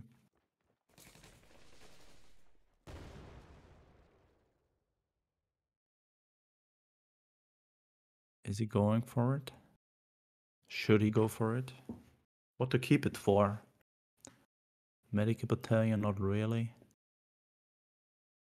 Ay, ay, ay. Wow, that was first. Yeah, wait. Uh, He wanted to be in the front line. He wants his unit to die. The its units to die. He did go for the California. The possibility now of being able to heal up, or do you just go for nukes? I think you heal. Eh, 100% heal Yeah. here, yeah. I think you, if you're Noro here, you just keep pouring down the unit. I don't think you trade them away. I, I think you, you play around getting this um, Type 93, and then these trades become so much more efficient. I think you just spam the front line. But then all of them have plus six health, right? You- I mean, I mean, you get don't get through them at this point, anyways. Just don't drop this Type 94, whatever you do. Because then the Stars and Stripes will come out. Oh, oh, it's risky. Down to four, and there's a Mido. Can go for this penicillin. Yeah, 100% has to go for it. Otherwise, he's just dead with the Yeah. Mido and two of two tanks in the support line there. Can penicillin and then continue to buff a guard as well. Look at that hand now. Doesn't go for the buff, goes for the front line instead. But actually, that might still not be enough. But there's the Faint feint. retreat. Oh lord! No, we can do it. You can trade away two of your units, drop the Mito, pin or trade, and then play the feint. But look Wait, how wait, his is this legion is lethal? growing. Look how Oh this. no no no no! this- This is lethal. Drop the Mito, trade, trade away your signal. Trade away the signal. Do it. I told you. Trade away the signal. Signal regiment, follow me. Do it. Please, please, please. No, don't miss this. Don't miss this, buddy. He's not seen it. He's not seeing it. Trade the sig. No, he's not seeing it. Oh, he's still doing it. Ah! No, Wait, what? No, wrong unit. Oh, no. oh, the lethal miss. Oh God! No, he's sending his. And now it's being bounced. Oh, sh- Needs a blitzer off the top. No, he's losing. He has to get a blitzer. needs, yeah, he needs the top of the 35 T or something like that. 35 T. Anything with blitz. No oh blitz, my no lord, win. the misplay. Or any order, right? Is there desperate measures still in deck? Oh god. What are we seeing here? Blitz! it's, it's, a blitz! It's a blitzer. He can do it. Oh, god. Oh! Not being punished. Not oh being my punished. lord! I can't handle this. My heart. Oh my oh, god. Oh, I damn. can't take it. Almost through that game. Just imagine this not being a blitz unit. Almost hospitalized me. oh, okay. It's late at China, so I think that that can happen. But oh my god, almost through that. If this would not have been a blitz unit, then oh Artemisia would have won. God. Ay, ay, ay. Oh, I could have cool off. Okay, the good thing is both Japan decks are out now, so we're not seeing these Japan decks again.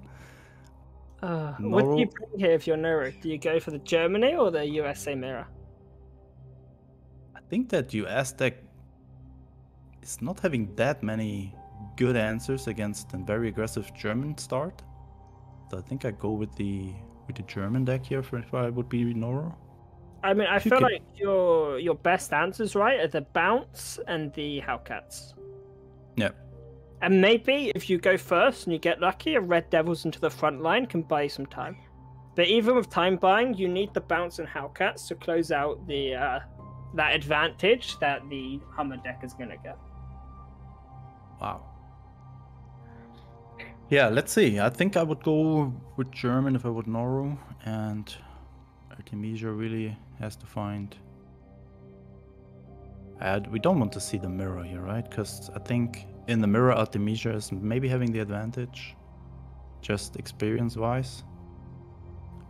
I don't know. I think you try to take a shot with German first, but then you have to win with US anyway, so I think it does not matter too much. Ay, ay, ay, what are we seeing here? Dude, I'm just trying to breathe. So, players taking a second before the next game, you know, I mean, if you can imagine how much that affected all of us, you know, in, in chat and, and on the stream. Imagine the player's point of view. I, I could not handle that. Yeah, especially if you maybe after the turn just figure out for yourself that you missed Yep. lethal there. That is that is the worst feeling in the world. You always see it just afterwards as well. You always press and turn, and then you notice what's happened. It's not just when you click; it's just when you release that mouse button. In Yeah. that moment, you see When oh, you let shit, go. There was a Yamato on that signal regiment. I had four credits left. Oh no! So yeah, I expect we'll see Germany versus USA, but Noro was picking the Japan deck, so I'm curious if they're trying to avoid this Germany deck for some reason. Um, you you may say it doesn't matter; they have to win with both decks anyway, but it certainly matters. It, it 100% matters because momentum is a huge part of card games, and and your mindset is, is very much affected by momentum, right? You you feel good, you feel comfortable, you- you're more likely to make the right plays and the right decisions. So you want to, in in this situation for Noro, you want to pick your best deck, and then you can do the worst matchup afterwards when you feel better if you win the first one. Yeah, especially because being down 2-0 and then winning a match and it shows you, oh, I can beat this guy. I can win. It's not Yeah. that I don't have a chance against them. And yeah, just take that momentum, try to get the 2-2 here and then you have the momentum for for the final match there. You have the you have, just have it on your side that the, the motivation and you know, oh wow, I just came back after 2-0 and I can also win this series here. So circling back a little bit to earlier, talking about this Yeah. balance patch, since we have two two USA decks here, have you seen the USA Italy combo idea yet with this new Fiat, where you uh, you play Patton and then you drop one unit and three of these, and you can hit face for six on turn one. Oh it's, yeah, it's now one K and it gets that plus one attack. and zero operation Zero cost, op right? cost. Yeah, yeah. So you you can blitz out as many of them as you have. And with Just look at Ollie's op face. Look at Ollie's face. He's just, oh, I really have to talk with the devs about that one. did we see that combo being possible? But yeah, wow, I did not see that actually. It's just a very exciting thing to look forward to. It may not be competitive, but it will certainly be fun. And, and, And we see Noro lot going with the, the Germany deck. Ah, as we expected. Okay. How many combined arm style cards do you keep? Do you keep just the think- Henschel or do you keep, yeah, just the Henschel? I think zero if you don't have a tank in hand, right? Oh, I think He's the fights it. is worth keeping, but look at this zero of them, zero tank, A- And we do see this Red Devils as well for Artemisia. This is a very poor start. And the Hellcat and the United We Stand top deck. Uh oh. Not the best start here for Noro. Oh, Another it gets Henschel. worse. And you, Just do you just drop a? Henschel? I don't know. Yeah, yeah, it's like, what, what do you do? And the Plan West coming out, this is just a complete disaster. Absolutely. Yeah. Um, oh, Parachute is not doing a lot. Not a single tank found until turn three here. goes for the buff. That helps at least to get rid of the Red Devils. But if you're Artemisia, do you just trade away, kill the mobilized unit, take the pinch effect off, move both units into the front line, and play this how? And then I think you're in real trouble with your Noro. You've got Yeah. two free frees in the front line. Look at that. There comes the hill. The only out here that I can see off the, you know, in my mind is another of these pincers and Fury trading. Yeah, he needs another second Parasite Yeah. to get rid of both, but But now look, find it it's just going to be free trades. And what do you take? I think, yeah, you take the 35T. yeah, not a third Henschel for sure. Yeah. There's another. Oh, unit. but United we stand.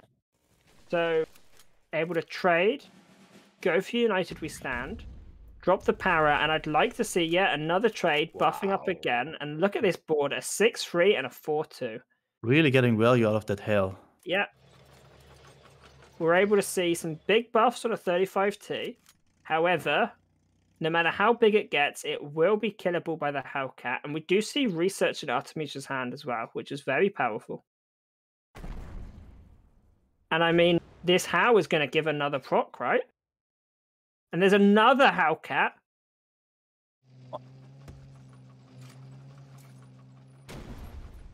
Yeah, smart play there. Keeping Goes the legions alive because this has hell on it, just just growing and growing and growing. Yeah. That's basically not taking any damage when trading into these one attack units. And it's. Just- look just at gaining that. attack. 9 3. PRR also doing work there. and no more tanks for Noro. you ran out of tanks again. With Yeah, three I- more combined arms in hand. That's most of the situation when I play this deck. Like I, I I don't find enough tanks to just shut my oh, opponent This off. is looking really unfortunate. A- And Artemisia able to put a two turn clock down. But Noro takes the lead here. 19 against 20 health on the Takes the lead. HQs. Oh, the stars and stripes as Oh, well. God. Yeah, I mean, And this looks like a, a quick over. game. there's not any top deck that gets rid of that 9-3 there. Yeah, there is. Control, combined arms, okay, maybe you can get rid of it. I think you cursed, you cursed Artemisia. However, Hellcat in hand. yeah, but also look at Artemisia's hand here. how Hellcat plus the uh oh the weak Oh, wow there's so many options. I can just go face with that. No need to trade that Henschel away and oh and the blitzkrieg. Okay this is this has been more like the possibly the, most unfortunate game today but plays out the blitzkriegs. I admire at least playing them you know just for the XP that And you don't you get for friendly battles. 3-1 to Artemisia. Artemisia taking third place in the bronze match. Noro, though, not going home empty-handed, takes home $200. Fourth Um, place in his first tournament appearance. Very impressive. first six months of KARDS. You know, obviously Artemisia came out on top, but Noro still gets their fair amount of credit here, I think. Uh, and I think both players have played excellently. Um, but I think that's the last of us today, Spooz. Um, sadly, you know, you you will be thrown back to less handsome, less charismatic casters for the rest of the day. Um, but what can you do about it? But anyway, I think do we have? Uh, I believe it is Ollie and Christo on standby. So back to them. Yep. Well, That uh, brings a tear to my eye. Thank you, uh, Bubbles, for that. Yeah, Bubbles doing his uh, his his best effort in not getting invited back. That's the last you'll see of Bubbles ever at the Yeah. KARDS Open. Uh, we're gonna invite him. Uh, you know, we're gonna call him up, be like, Bubbles, I really need you in Iceland, and then he's gonna be in the ocean. Correct. In the ocean. That's what you get for predicting all Brit bands.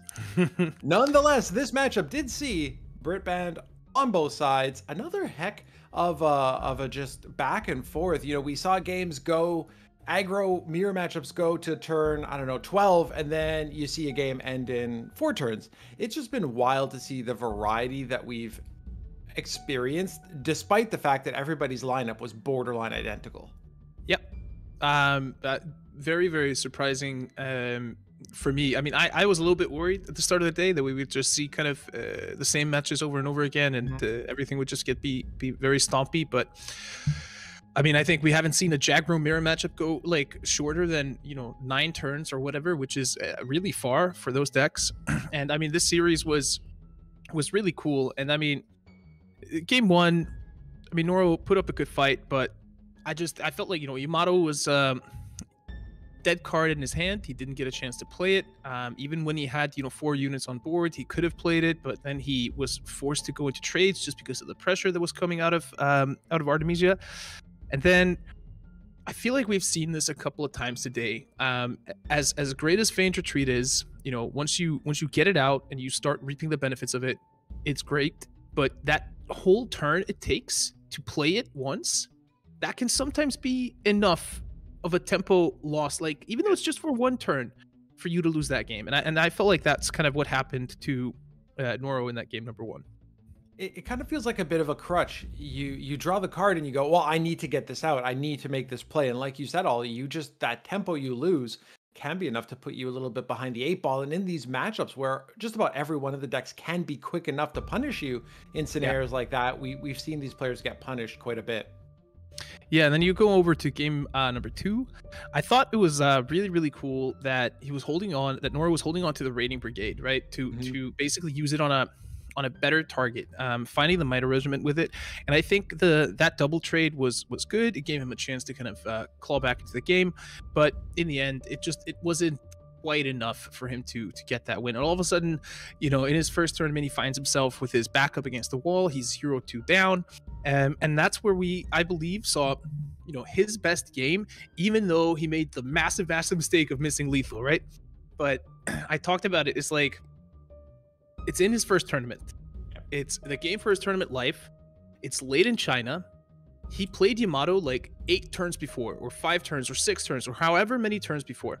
And it it just it, it isn't intuitive for you to trade your signal regiment, uh, a zero four unit that costs four to operate, into a unit to kind of proc two damage, right? You just kind of forget. And I think that's what happened to him. He just he just forgot. But thankfully for him, he was able to find that Akita regiment delivering exactly the damage that he needed. But um, and thankfully for us, Bubbles survived uh, that miniature heart attack that he got during the casting of that game. Um, and then game four, that was the story of not finding tanks. I mean, I want to open up the the deck list here, but like I'm pretty sure there's like at least 20 tanks in his deck. Um, and he just found practically none of them. So so that was unfortunate um, for him. Also, he was going second, so he had more cards, not able to utilize that Enigma at all. And uh, eventually, that just means that Artemisia is able to clutch himself third place, $250. And Noro, impressive, impressive run, but uh, has to say goodbye to us in fourth place. And to your point, you know, that's still a phenomenal appearance in your first real event to come in fourth, take home $200. Sure, there was a few little little squeaks here and there, a few little maybe uh, possibly mistakes, but as, as you mentioned as well, Ollie, it's late. It's been a long day, a lot going on, uh, and and that's a play you make once in a blue moon. It's not something you even consider doing most of the time. So uh, those lines of play can sometimes be a bit challenging.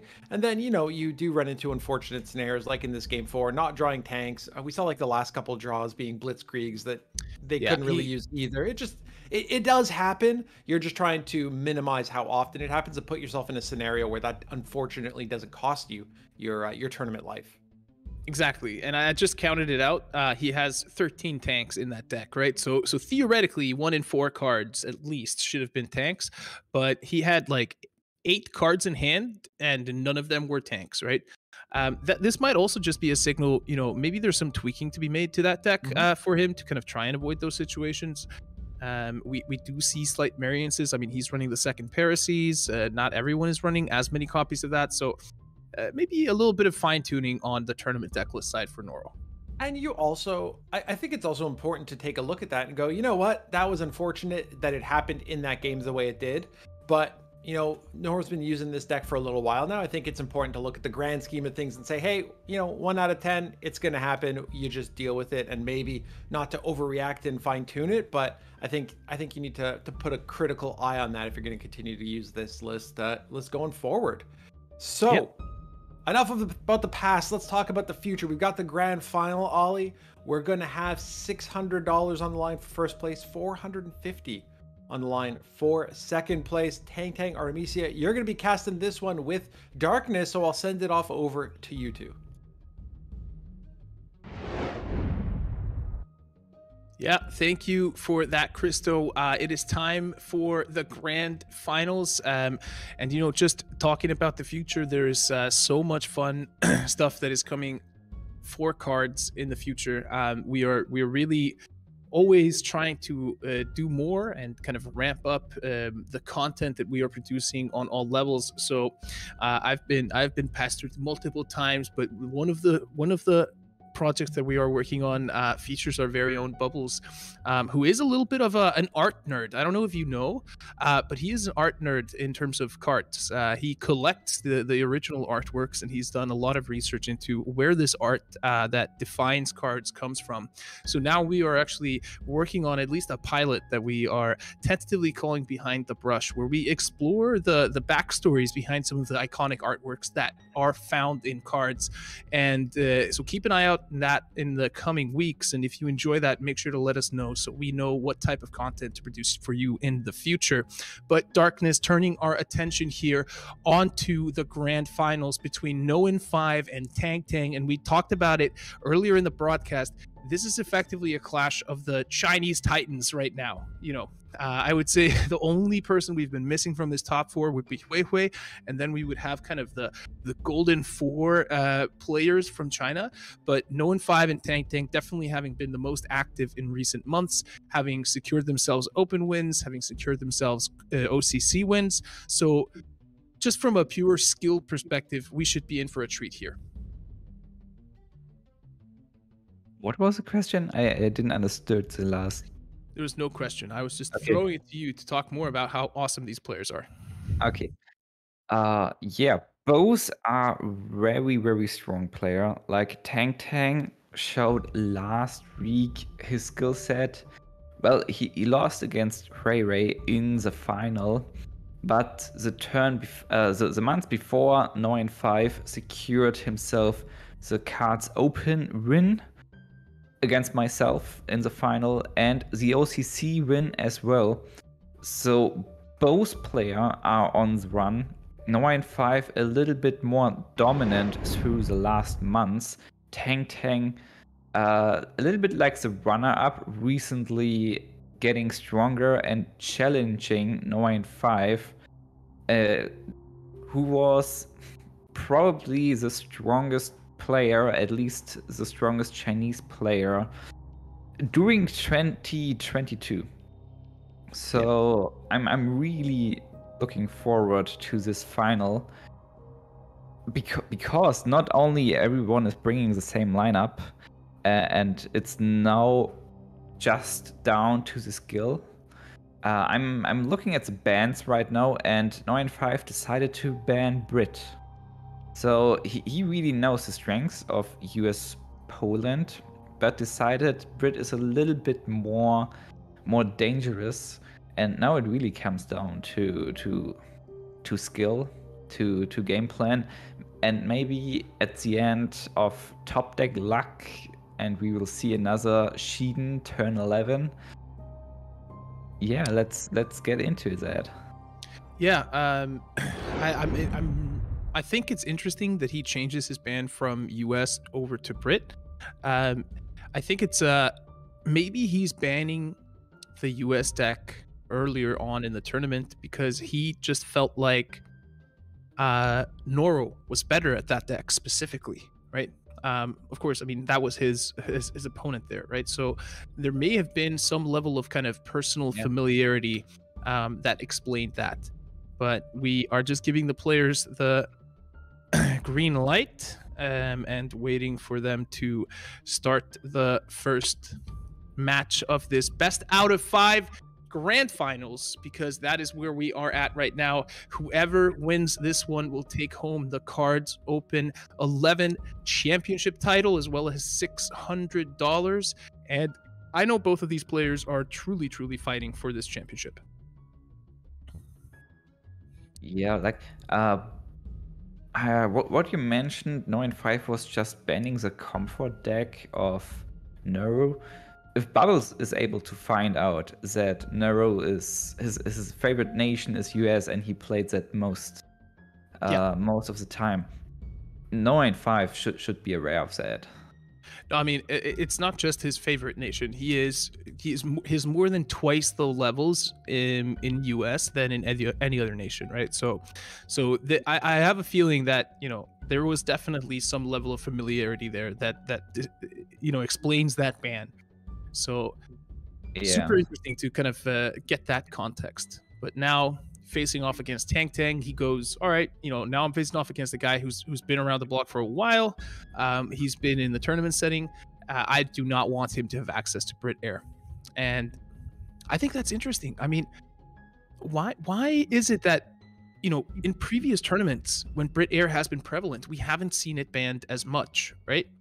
But I I almost feel like in this kind of particular tournament with the decks that we're looking at, the Greyhound tends to be one of the biggest issues about that Brit US Brit Air deck.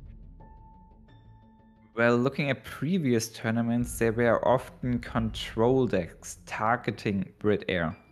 You know, like like German Italy controls stuff with a lot of sudden strikes, a lot of Flammpanzers, but this is not working anymore against Brit Air. And um, aggro overall is so strong and dominant, so you, you can't really target it. You still lose. I tried and I lost in the final against 9 5 last month. Zero two three. So no, it's not about targeting. It's about banning Brit Air. Yeah, really, really good opening hand here for Tang Tang, uh, finding the 32nd infantry, so he's able to start getting those units out on the board. But on top of that, also having his stars and stripes in hand. And I mean, he is going up against U.S. legions, and U.S. legions often tend to have a fairly full backline. So having access to that stars and stripe at a critical moment could, you know, just immediately give Tang Tang the adva- advantage in this matchup. 9 5 is finding the second Red Devils. They are not only able to trade two for one 32nd Infantry Regiment, it's also horrible if they are able to get into the front line. Yeah. Because, yeah, the, the credit loss you you're receiving if you have to trade one or two times into those red devils it's just enormous and i, I believe 9 5 will trade into the front line now and place one red devil there. I wonder if he's sacrificing the damaged red devil into the front line to to send in one three red devil and yeah just put it there. Or if if he's like trading equally having two red devils with one round stats. Oh just using unity strength to to buff it Yeah, that's what I was thinking as soon as I saw him uh, pull out that Unity of Strength. Because four, six Red Devils is a dangerous Red Devils. But I mean, this does open up the the Sherman drop here and the draw. If uh, Tang Tang so chooses, might not be the most optimal way. Maybe just push two units into the front line, play a plan west, start setting up for that Karis to come out and start, you know, buffing up those legions but this this at least puts it in, a, in an interesting situation. Um, opting to go for the Sherman, putting a four four body on board, drawing two cards, finding the medical battalion. I mean, of course, look at the fact he has two we can do it's in hand. So if he's able to buff uh, a large number of units with a double we can do it and then establish a medical battalion, he could become really sticky on the board pretty quickly. Yeah, but also the Red Devil buffed, and now the second Red Devil also looking to get buffed looks like a huge problem to me. Well, those Legion decks are fairly aggressive, but also more like mid range decks. They are throwing a lot more stuff onto the field and it's already it's already getting into like fortified position. Everyone is having a ton of of units of weapons and there is the red devil with four six stats entering the front line. Yeah it takes Tank the entire turn. all of his credits to get rid of that. Yeah. That's crazy. The tax it is real. Just using we can do it. Uh, this will cause only the Sherman to survive. But 9-5 does has he has another unity. unity. Look at oh, that. God, that is a massive those are massive red devils nine attack, 11 HP, and it is going to cost. Oh my God, Underground State off top. I was going to say it's going to cost so many credits to deal with that, but turns out it's only going to cost five. Wow. That was a game changing top deck there from Tang Tang, and no one five yeah, acknowledging that. That top deck was brutal. Well, 9 5 sending the Red Devils into the front line and Tang Tang not dealing with it. 9 5 knew Tang Tang did not had uh, Underground State at his hand, but drawing it at, as top deck, yeah, this was this was the change Tang Tang needed. Yeah, and, and now I believe we are really much looking down a possibility where um, I mean, I think No one Five has to basically push up as much as he can into the front line uh, as soon as he can, so that he can block uh, Tang Tang from advancing with those high HP units and establishing a wider board to even buff again with We Can Do It. Oh, United oh, we stand. He's using Unity. Oh, this opens the field for Stars and Stripes. Yeah. It's and huge Stars and Stripes that's what we talked about. And he has the credits to deal with the Red Devils as well. And all of a sudden, No One's Five's board is empty. You would not have predicted that ter- two turns ago when he had a 9 11 Red Devils in Tang Tang's face. But now his board is empty. Absolutely fantastic turns here for Tang Tang. On the other side, Ryan 5 is able to place a Red Devil into the front line, playing two times Western Plan or maybe one time Western Plan and then the Kerass. A lot of things are possible here. 9-5 lost his board, but he has so many units and possibilities at hand. Yeah, and I mean, he, he still has plenty of stuff. He's got an underground state of his own. He's got two Plan West. He's got a California. But look at just the the size and power of the hand here for Tang Tang. And that medical battalion it is going to do work. Yeah, it's not looking bad.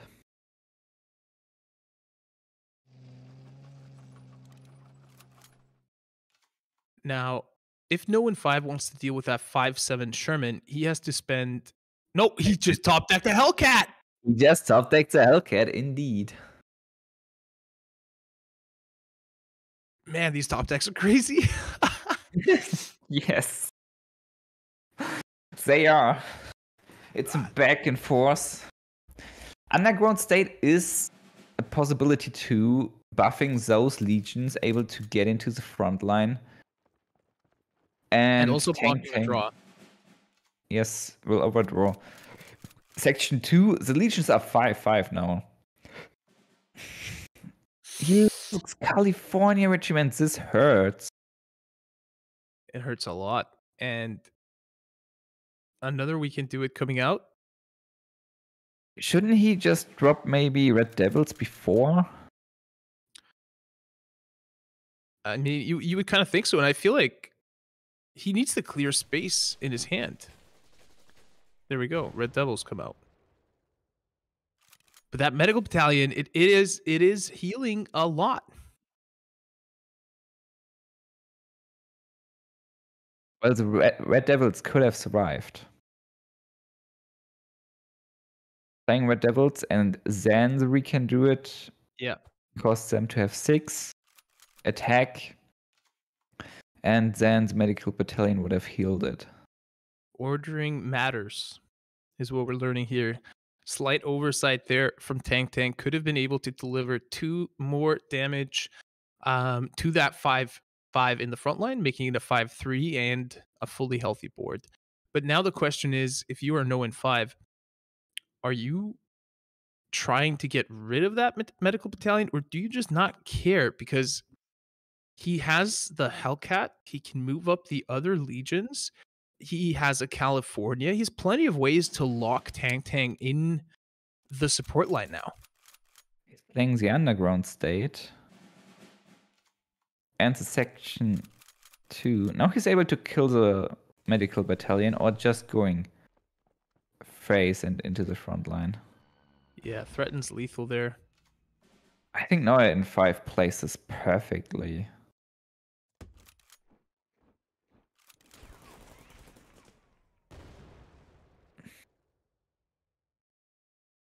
Okay, even though the threat of lethal is there, Tang Tang is able to clear the front line. He pushes the medical battalion up. Yeah, blocking the front line, so the Hellcat is not able to to threat lethal. But the Hellcat is now able to to kill the medical battalion. Yes. No in hovering research, thinking maybe I want to be a scientist. You know, maybe I want to figure out how to build Yeah, nuclear weapons. this looks Because- dangerous. Next turn, he's able to get two Manhattan projects, and the turn after, he's able to just nuke Tang Tang into the ground. Yeah. But does he have enough space to to get those Manhattan projects? Yeah, he can just drop Hellcat or something. I mean, he, he's not going to be able to do it within next turn. He has to spend a turn clearing his hand before he generates the Manhattan project. He's going to overdraw next turn as well because of that section two that Karis gave him. Well, looking at the strategic bombing, I think I would have dropped the strategic bombing here. Now, I think we're about to see Tang Tang go for a massive unity of strength. Yeah, That's going to be a plus five, plus five, and he can put that onto the California. or maybe killing the Karas, Hell. or playing Hell.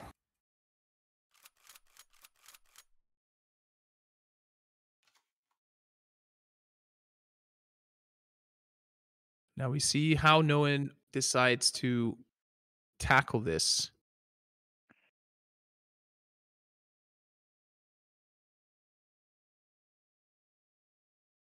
It's tough, you know, mainly because he's his hand is so big. Well, you just he went for the research. The the logic ray would be continuing that ray, like plan West and then going for Manhattan projects, allowing you to deliver 12 damage next turn. The strategic bombing will clear all legions. And a top deck unity is strength. How much is this? Plus five? Yeah. Plus ten? This, Is this gonna is be- enough. This is enough. lethal.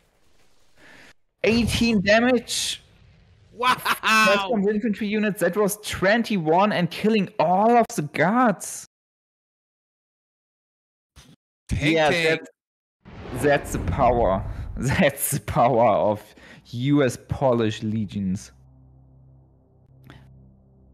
With Unity strength, it's so much damage, and with this little bit of AoE or underground state, you can basically remove all of the de- possible defenses.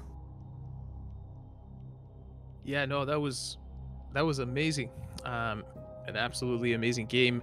And Tang Tang, even though he was under so much pressure, was was able to again remain calm, find his ways to victory. And but let's let's be real though, that underground state top deck changed the game. I mean, if if he has to deal with that massive red devils in the front line for any longer, he probably loses. But um, finding the card that he needed at that moment, being able to swing that over into victory, and no in five, just one turn away from being able to use those nukes, running into issues because of hand size, really. And Tang Tang just making use of, hey, if you want to drop any amount of tempo against me to develop those nukes, well, I'm gonna, I'm gonna, you know, hit you right back. Now, now we are into J aggro against German combined arms, and Tank Tang sent back the first signal regiment into his deck. Well, he does have an amazing start. Bicycle regiments into Panzerbefehlswagen, Type 93, 22nd Infantry Regiment on top. So now, now he's able to drop the Type 93 kill the Humber with the Panzerbefehlswagen and attack for four into the HQ or maybe just for two and killing this little parachute unit. What would be the smart array, I believe. Yeah, he recognizes that as well. Yeah, to not allow the Panzer 35T coming coming in. Yeah, and I mean, and when you go first in this situation, you, really cannot give your opponent an opportunity to trade you two for one uh, right back, which is exactly what Nolan would have been able to do with that Panzer 2A. He would have been able to get rid of that bicycle regiment and, you know, set up a favorable trade. And this can put Tang Tang into a really difficult situation because he has such few cards. Well, there's a form of card war, the Dinah and 22nd Infantry Regiment rating. Which one do you use here? Do you play the Dinah or do you move up the Type 93 and drop the 22nd? You could even trade into the Greif and play the type.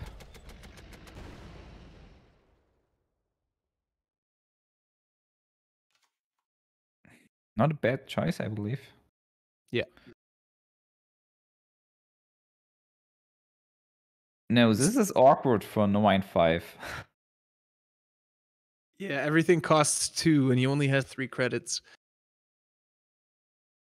yeah, and this is why they... killing the Greif would pro... was probably a good idea. Well, two, uh, one four stats is just good. And Dinah now is drawing more cards. He's able to get into the front line with Cavalry Regiment, delivering another damage. Yeah. But this would allow now in 5 to trade two units with uh, this one unit surviving. Tang Tang is playing around that. But how how much can you actually play around that? Because I mean, I feel like is he setting up to you know, have Noan move up the second Parasi and then Sendaiing it or because I feel like I feel like you're almost better off having Noan spend two credits on his turn, uh, tr- like trying to trade into you, instead of Noan potentially having the opportunity here to just walk up the second Parasi. Um, he can deploy he can deploy a Panzer 35T and he can he can buff him with the Henschel, right? So he has a big unit that's going to be blocking the the support line, no the the front line. I mean, I feel like this gave Noan five more options because he has more space on the battlefield. But on the other side, Tang Tang would have lost a lot of options. And it it's not wise I believe, to to just sacrifice your, your units for nothing. Another Sendai. Well, the Sendai regiment is needed, definitely. But do you now go and you trade those uh, those parachute regiments from from the Brits? You don't want them to grow. Um, you can do that with Adina without losing it. You could you could move the Dinah into the front. Yeah. This would block the front line and stopping 9 5 from drawing cards with 22nd Infantry Regiment. Or just pinning this one. Yeah, both hands really, really small at this point. Blitzkrieg, not what No 5 is looking for at all. 9 5 has two cards uh, depending on the front line. So they, they are not useful at all right now. Yeah, and, and this is one of the this is one of the problems with this uh, German aggro deck I have found is that once you get into this situation, um, especially since Tang Tang has another Sendai in hand, um, establishing your presence on the board and making it over into the front line becomes difficult. And there we see it again: a dead draw, combined arms. There's no platform to use it on. The only thing it can really do is use that second pair of C to go hit some stuff but you can only trade one unit. And now it's just a matter of how much can Tang Tang lock him into the support line. And it seems like he could do it pretty much as long as he wants. Yeah, Tang Tang is just moving more stuff into the front line, even dropping Zerado. And now 5 has basically three dead cards. Yeah, I mean, he's threatening 10 damage a turn now. Humber. Well, he can drop the Humber, the infantry, buffing this to 3 5. But there's another Sendai regiment waiting. Exactly. I mean, Sendai and Desperate Measures. If if if Tang Tang you know finds those, which he did this game, I think it's a really favorable matchup for him. And he just goes face. He says, "I don't care. You can trade it out. I have a signal regiment. You just keep taking damage." He doesn't even have to send Sendai. And there Surrender. we go. No one just surrenders and Tang Tang leads 2 to 0 here having secured victory with his uh, combined no with his J- Japan aggro and with his USA deck US uh, legions and I would looks say like looks like the combined arms deck does has some weaknesses yeah it's it's so, almost crazy that I would say it is probably the third weakest deck out of the deck lineups that are being brought. I don't think it is in ladder, but in a tournament setting, I think it's the third weakest deck that they brought today. The third weakest deck. Yeah, I think I think I think Japan aggro and Brit Air are both better, and win against that combined arms deck um, more than fifty percent of the time. So it's uh, the third best deck. The third best deck, sure. Yes. the third weakest would mean the second best. The second best. yeah, it's uh, it's been an exciting day, darkness. So uh, apologies, gotcha, but but yes, but I mean, uh, do you agree with me, or or like, am I am I saying crazy stuff? No, I I believe it's it's actually the weakest deck. It's not performing well against J. What we're about to see, because this is the only deck Tang Tang has left, and No 5 has chosen to play US Poland Legions into this. He knows exactly what deck he's about to face. And look at the starting hand. He has the 32nd Infantry. He's got the United We Stand for the early clear. And then he's already holding on to that underground state so that he is able to uh, send back whatever is buffed. And I believe that might even come out just uh, on turn three because of that United We Stand buffing him up. This is why I thought uh, this German deck could be the weakest deck. US Legion is very powerful, as you can see. Tang Tang does have a fairly strong start. 9-5 does does too. Of course, it's not great to play US into a highly aggressive deck list. Oh. But so far, it's performing very well. Plan West the best possible top deck I believe no one has in his deck right there. Gives him two guard units, and he's able to develop another uh, 30 second infantry, three units on board to start uh, answering that early aggression uh, and established board from Tang Tang. Tang Tang is able to clear both legions with the Humber. And even trade into the, the 32nd Infantry Regiment if they want to. Yeah, I feel like you have to. Yeah, you want to protect the Humber from getting traded. Just Another under- regiment looks looks strong. I mean, so him having another underground state just, I would say, makes him feel comfortable dealing with that Humber now with an underground state and not having to maybe drop a California or drop a Tarno and then take, you know, six damage to face. Or even more. Combined arms is very, very powerful. Yeah. If Tang Tang has a little infantry regiment and maybe two combined arms, this would be so Game. strong. And there is the combined arms, but the Humber is is gone for now. Would you buff the Greif? Mm, I don't know. I, I almost like just playing the Flammpanzer here and taking out one of the 30 seconds. Um, You could play the Greif and trade the Henschel like that, yeah. clearing the board again. I mean, I, I like I like that play a lot. I like this play a lot. The Greif is very valuable because it's reducing the operation cost, and we saw today what Yeah. an Humber without operation cost can do. Well, but it's just dying against this California regiment.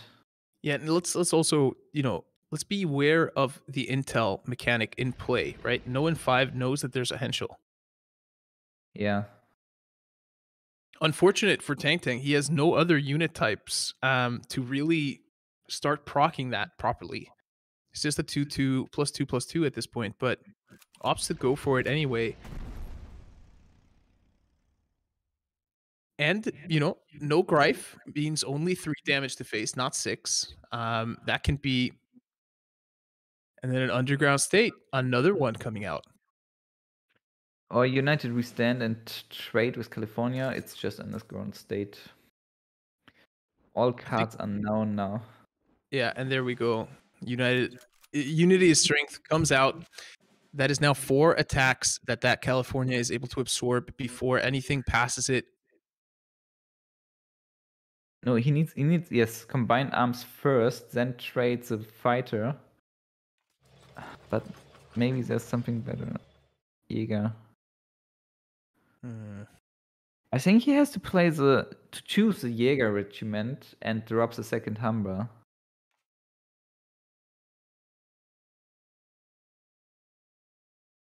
I mean, with the Jaeger regiment, this is going to be uh plus three plus three, right? So four six, but he doesn't have the credits to do that and attack with the Henschel and do the double tap with the Humber. So now in damage mitigation mode, Tang Tang. Yeah, preparing the second Humber. So next turn there there's a Jäger regiment and combined arms. But a second we can do it on this board. And guarding the Yeah, Tang Tang just Deployment says, regiment. no way I'll ever be able to get through that and just straight up surrenders and no in five gets on the scoreboard here in the grand finals. He needs a reverse sweep if he is to claim back to back KARDS open wins. Will he be able to do it? Well, we talked about it. Potentially, this deck is the weakest out of the lineup, even though it's been getting some of the most attention in the game in recent days. But not working out for Tang Tang in that matchup at least. Now let's see what does Noan want to bring into it. Now he goes for the mirror instead of going for the J aggro into it, he goes for the mirror, and that that I think is interesting because I think I think J aggro, if you're able to find the desperate measures and Sendai's, you can do a whole lot more about it. Whereas this, I feel like, is a little bit more of a coin flip by No Five. Well, he has to win both stacks anyway, so it doesn't make a big difference. I think it does. I think I think having momentum going into game number five, having won two games, especially once we when we know that it's it's it's late at night um for them, right? Um just having the adrenaline versus versus going into this like, man, I lost the past two games. I'm getting frustrated. I feel like that can affect you way more um if you're playing this. But no, no and five has to win with both. He has to win now if it if this is going to be game number five.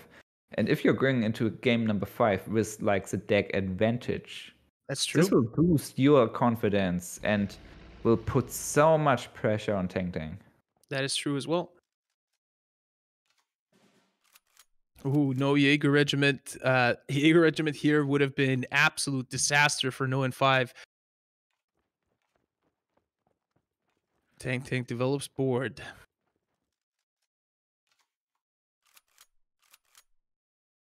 Exit play. I, I do too. He's he's he's basically setting up for the early aggression from no and five, saying, "Yeah, buff that Humber, bring it here. I dare you."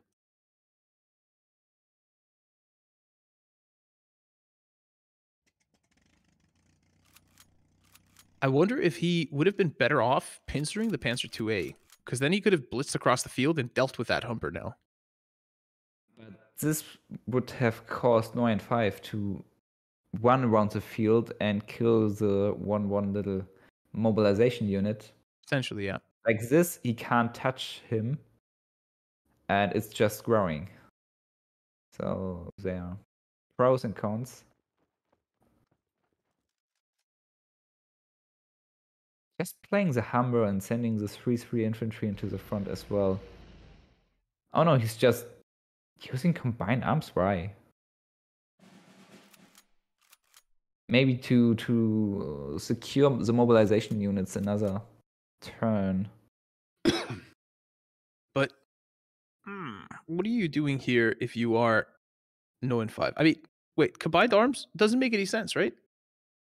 He's just gonna die if he attacks into the second Parasi. No, he, he's using the path and trading the other units, oh, creating yeah, a yeah, yeah. big Humber, causing causing problems. I didn't see that. And now Jaeger delivers six. Just enables so much mobility across the field. And yes, Noin has the big Humber, and we saw him win a game by developing a big Humber in the early stages of this tournament. But is it going to be enough this time around? Potentially. He's trading two big units, probably the Humber and the 4 4. Yeah. Yeah. Um, he does not have the credits required to trade anything else, but Tang Tang's hand is empty. Is Tang Tang running uh let me check. Enigmas? Let me see. No, no enigma. No, no enigmas so for Tang Tang. He he's just dropping two tanks, okay. Blitzkrieg! Blitzkrieg! How much is that damage enough? Plus six. No, it's just eleven. It's just eleven, yeah. yeah, uh, yeah, quote unquote, just 11 eleven. damage. And without a frontline, Blitzkrieg is nothing. He he could he could even kill the Humber. I think it's smarter. Yeah. But what is the top? Another Panzer 35T. That's that's looking awful, actually. This is He can because take... he has no infantry on, on the field. No. He needs the Panzer 35T and both Panzer 2As to just kill these mobilization units, and he and he has to kill it. Yeah, he can he can drop the the 22nd infantry, a Panzer 35T, and then trade away the the 4-4. He's gonna take two damage next turn, but he's gonna have an established infantry unit and another Panzer 35T to follow that up. He he's he also holding draw. Five, he would take five damage then, and Tang Tang is running um Panzer 35 Ts and Comet and Blitzkrieg. This move is crazy. Ah, he, he's attacking into it, so it's Oh my god! protecting. Oh my god! That is one damage away. Yeah. 9-5 played played around exactly that move. Wow. The Henschel. This this could be enough for Noah 5 to wrestle back control of the front line, and Tang Tang with no enigma or no way to refill his hand could just be one damage short of securing himself the KARDS Open 11 championship. Noah 5 really rolling the dice. But I mean, why would you leave the 4-4 alive when you could have traded that out and left the 2-1 alive? That's that's what I don't get. to, to leave that alive. Uh to to play to get more units on the field, like Yeah. like okay. a desperate measure, sending everything in, banzai. Move like that. Well now he's buffing his unit, able to send at least something into the front. I mean, now he's thinking, is there any card in the deck that Tang Tang can draw right now that is able to get through this unit and into the front line in the same turn? The answer is no. Second pair of C, not going to be enough to help him. Has to deploy that dry. No in five sitting on one HP on his HQ, but has all the power right now. He's able to second pair the Henschel, trade out the enemy second pair and then have three units established in the front line, and he might have just wrestled control back in the nick of time to keep himself alive in the tournament. And a blitzkrieg in hand, that is going to seal the fate of Tank Tang next turn. Not finding Comet top deck. No Comet top deck. Blitzkrieg. No in five stays alive. And we're going to game number five, Darkness. Yes, we are. Game number five it is, and it's German combined arms against J Aggro. Wow, this series is crazy.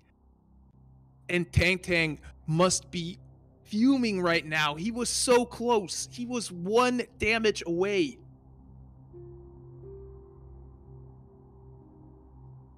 This is a really exciting tournament so far. No, it's been crazy. I thought all these matches would just be like a one sided blowout, but they've all been pretty much, apart from one game, all of today have been back and forth slugfests with low HQ HP on one side, clawing it back into the game, wrestling control, and securing victory. And now let's see how the Mulligan look like because that is going to be crucial for No One 5. I mean, he's already found the 15th calf so that he's able to put on that early pressure. Um, he has a Type 94, so he has some pin. Tang Tang already uh, sent back all of his mulligan cards, and he ended up with a parachute, hammer, combined arms, and the Henschel. Really important card draw, I feel, uh, for him. And five still thinking about it. Looking, looking really great with the cavalry regiment and uh, Panzer 35T Akita.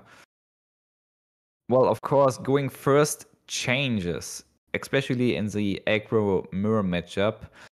Tang Tang just deployed two units, and this is the strength of the zero credit infantry with mobilization. How's 9-5 going to react against it? Is he going for Arado, maybe finding desperate measures? Just using the cavalry regiment to block the front line or to, to slowly raid and use the type? I, I wonder if you know if no in five drops the Arado to find the desperate measures and he starts trying to play that on the next turn, it's not going to be enough to deal with that Humber because that Humber is going to be buffed next turn. And it's it's way too bad. 9-5 is going second. If he's going to get rid of another credit slot, he's too behind Tang Tang. Yeah. Exactly. It's it's and and he's bad. he's kind of hoping. I I, I kind of like not pushing the 15th cab up here. yeah, yeah, I like it too. basically trying to bait out uh, a trade from that Humber and setting up a zero op cost Panzer 35T because the tempo here is so important. Tang can't would like to drop the Heinkel, play combined arms on Humber and go into the front line, but the, all of that is not possible in one turn. So he has, uh, they have to wait, and just dropping the 22nd Infantry Regiment seems like a good way of rating. He forces 5 now to react and do something to get into the front line and block it. And this yeah. is where uh, the the mobilization unit kicks in. It will be three three able to trade a cavalry regiment. Yep. And I think I think no in five finding the second Type 94 is becoming more and more important because he or a Sendai, right? He needs a way to deal with that first buffed Humber. And if he can, again, Tang Tang not having Enigma might come back to bite him in the butt here because he has two cards left. Sure, he has a lot of power on the board, but no in five has so many cards and options. He trades out yeah, the no in five knows he's targeting the card draw. 22nd Infantry Regiment, really smart. Jaeger Regiment. I mean, this sets it up for you know a good trade it's um, it's just strong. Jaeger regiment trade going into the front line with bows attacking.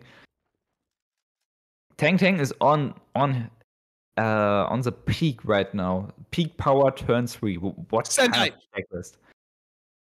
But Sendai enough? No, I having mean, access yet, to it. And he can't even play it yet. It's it's turn three. Three credits. He can it, can only use it the next turn. Sure, but just having the ability because if Tang Tang this turn does something crazy like Heinkels and combined arms or whatever, right?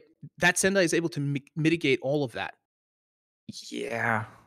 Tang Tang needs to, to kill the Arado and Heinkel kill the tank. Get some card draw.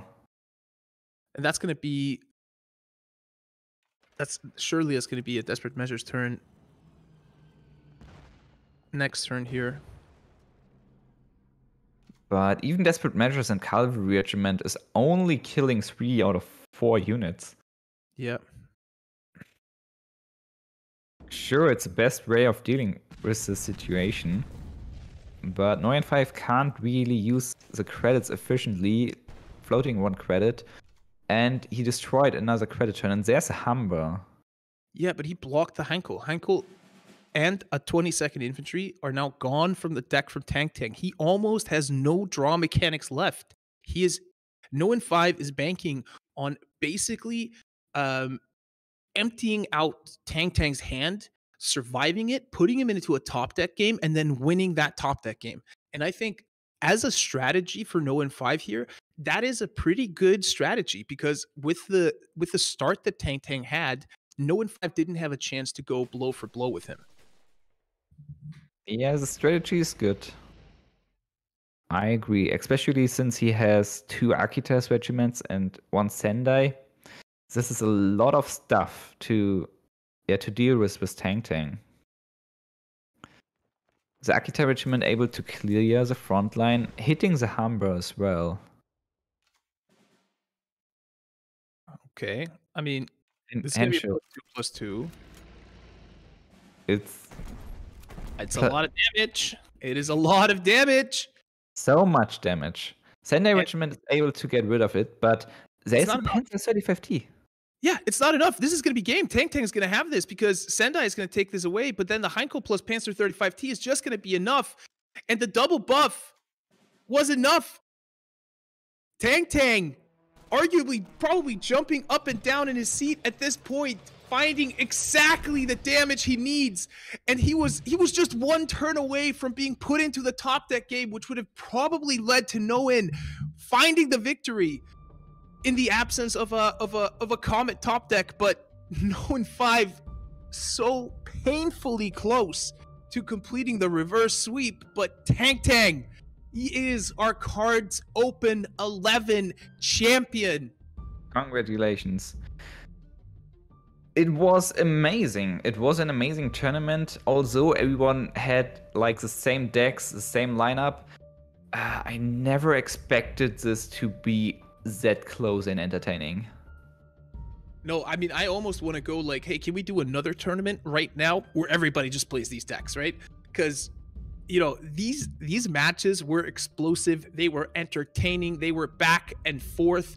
And there we see it. Those are our final results. Tang tang comes in first. He is our KARDS open champion.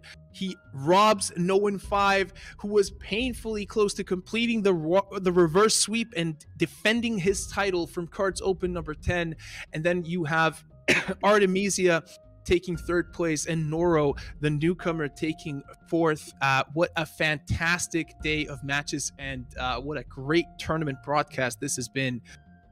Wow. Um, huge congratulations to everyone that made it into the top 16 congratulations to the players who made it into the top four and congratulations on tang tang who you know wasn't able to uh, Uh, wasn't able to follow up his season win with an OCC win, but he claws it right back and gets the KARDS open.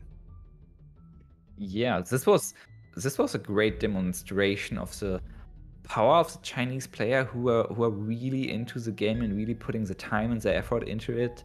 Not only nine Five is like in constant and challenging J King as one being being called as a, the best or one of the best KARDS player in KARDS esport. Uh, more more coming. More oh yeah.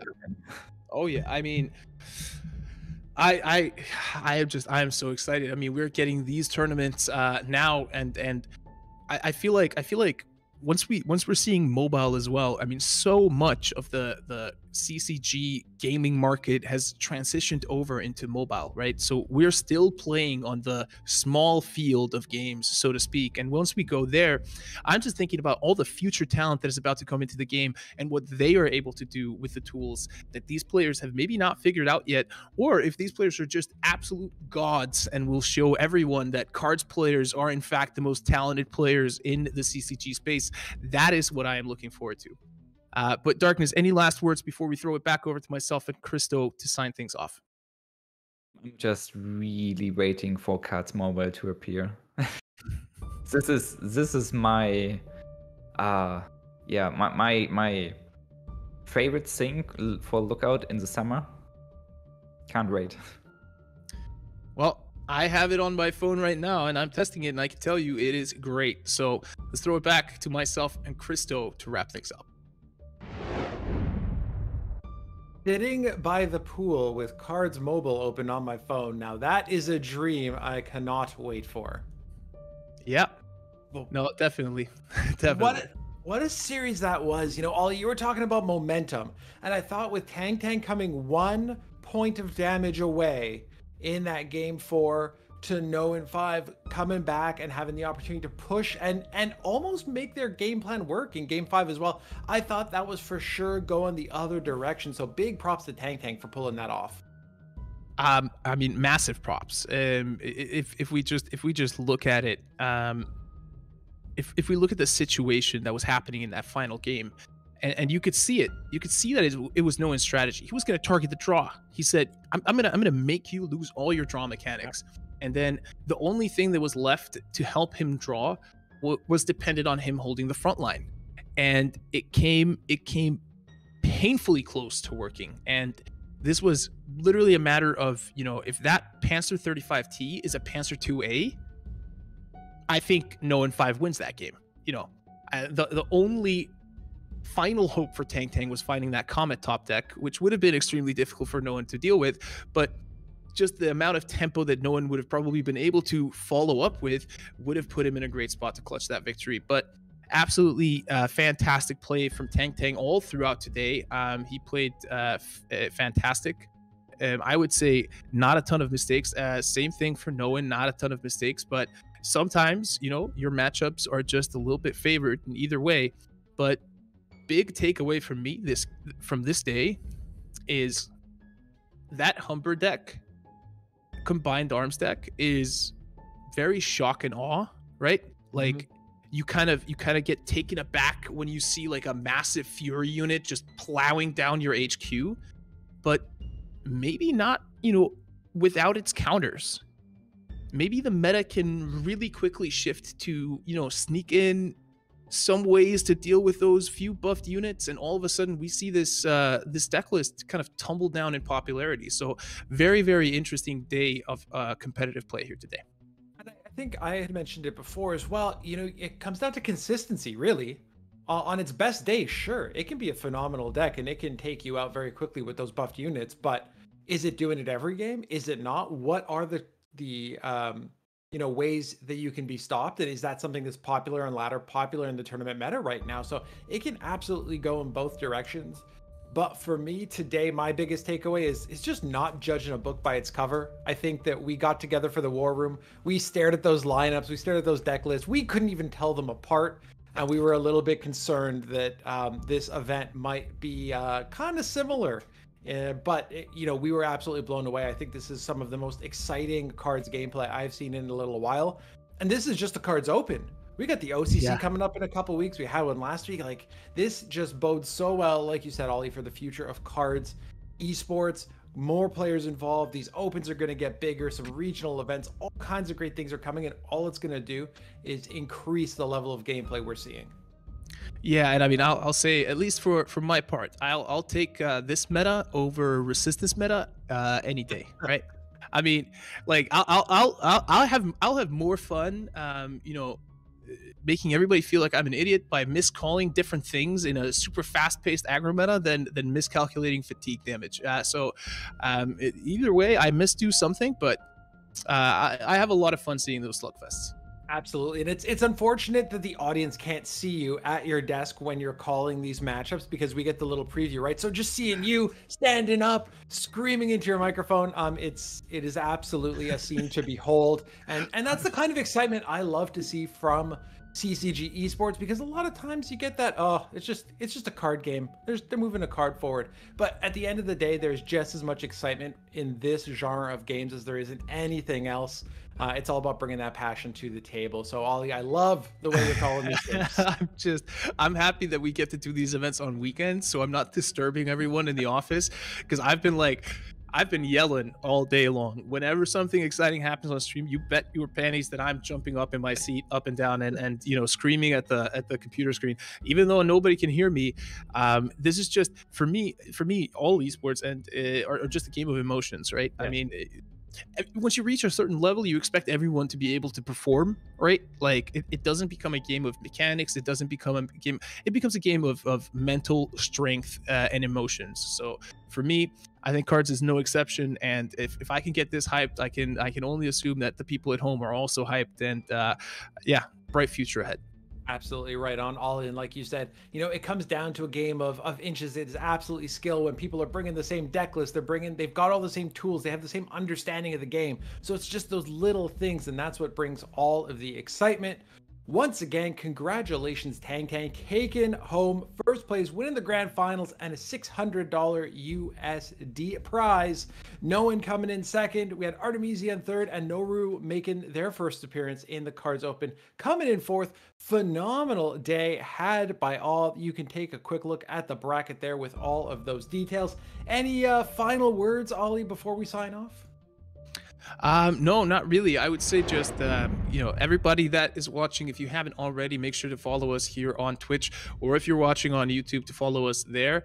Um, I would recommend being on Twitch because that's where we're doing most of the giveaways, but just make sure to give us a follow so that you don't miss out on anything that is upcoming. Um, mentioned, you know, we're working on new uh, player uh, videos, uh, basically to help you beef up your starter deck and uh, start making a run at that field marshal. We really hope that that will help some of the newer players that are coming in uh, find their footing in the game. We're also working on uh, other content initiatives. Um, so we're really looking to kind of make KARDS presence felt uh, more widely on the internet um, and that could be a hard nut to crack but um, we are definitely working hard at it um, behind the brush, uh, exploring the artwork and the history uh, behind the artwork and KARDS. All of these things are coming your way, as are, of course, more tournaments with OCCs and KARDS opens. And then as we move ever, ever closer to that uh, to the that biggest tournament of them all, the World Championships. Uh, they're going to be held in Iceland at the end of the year, as we did last year, and I am beyond excited to see how that will all play out. So make sure to keep your ears to the ground when it comes to KARDS esports and content, because there's always something happening. So much going on. I'm so excited to see this all play out. Once again, congratulations, Tang Tang, for taking it all home. And a huge thank you to all of you for tuning in from Darkness, Bubbles, Spooz, Ollie, and myself, and Mark Theus behind the scenes, pressing all the buttons, making us look good. Thank you for tuning in to KARDS Open 11.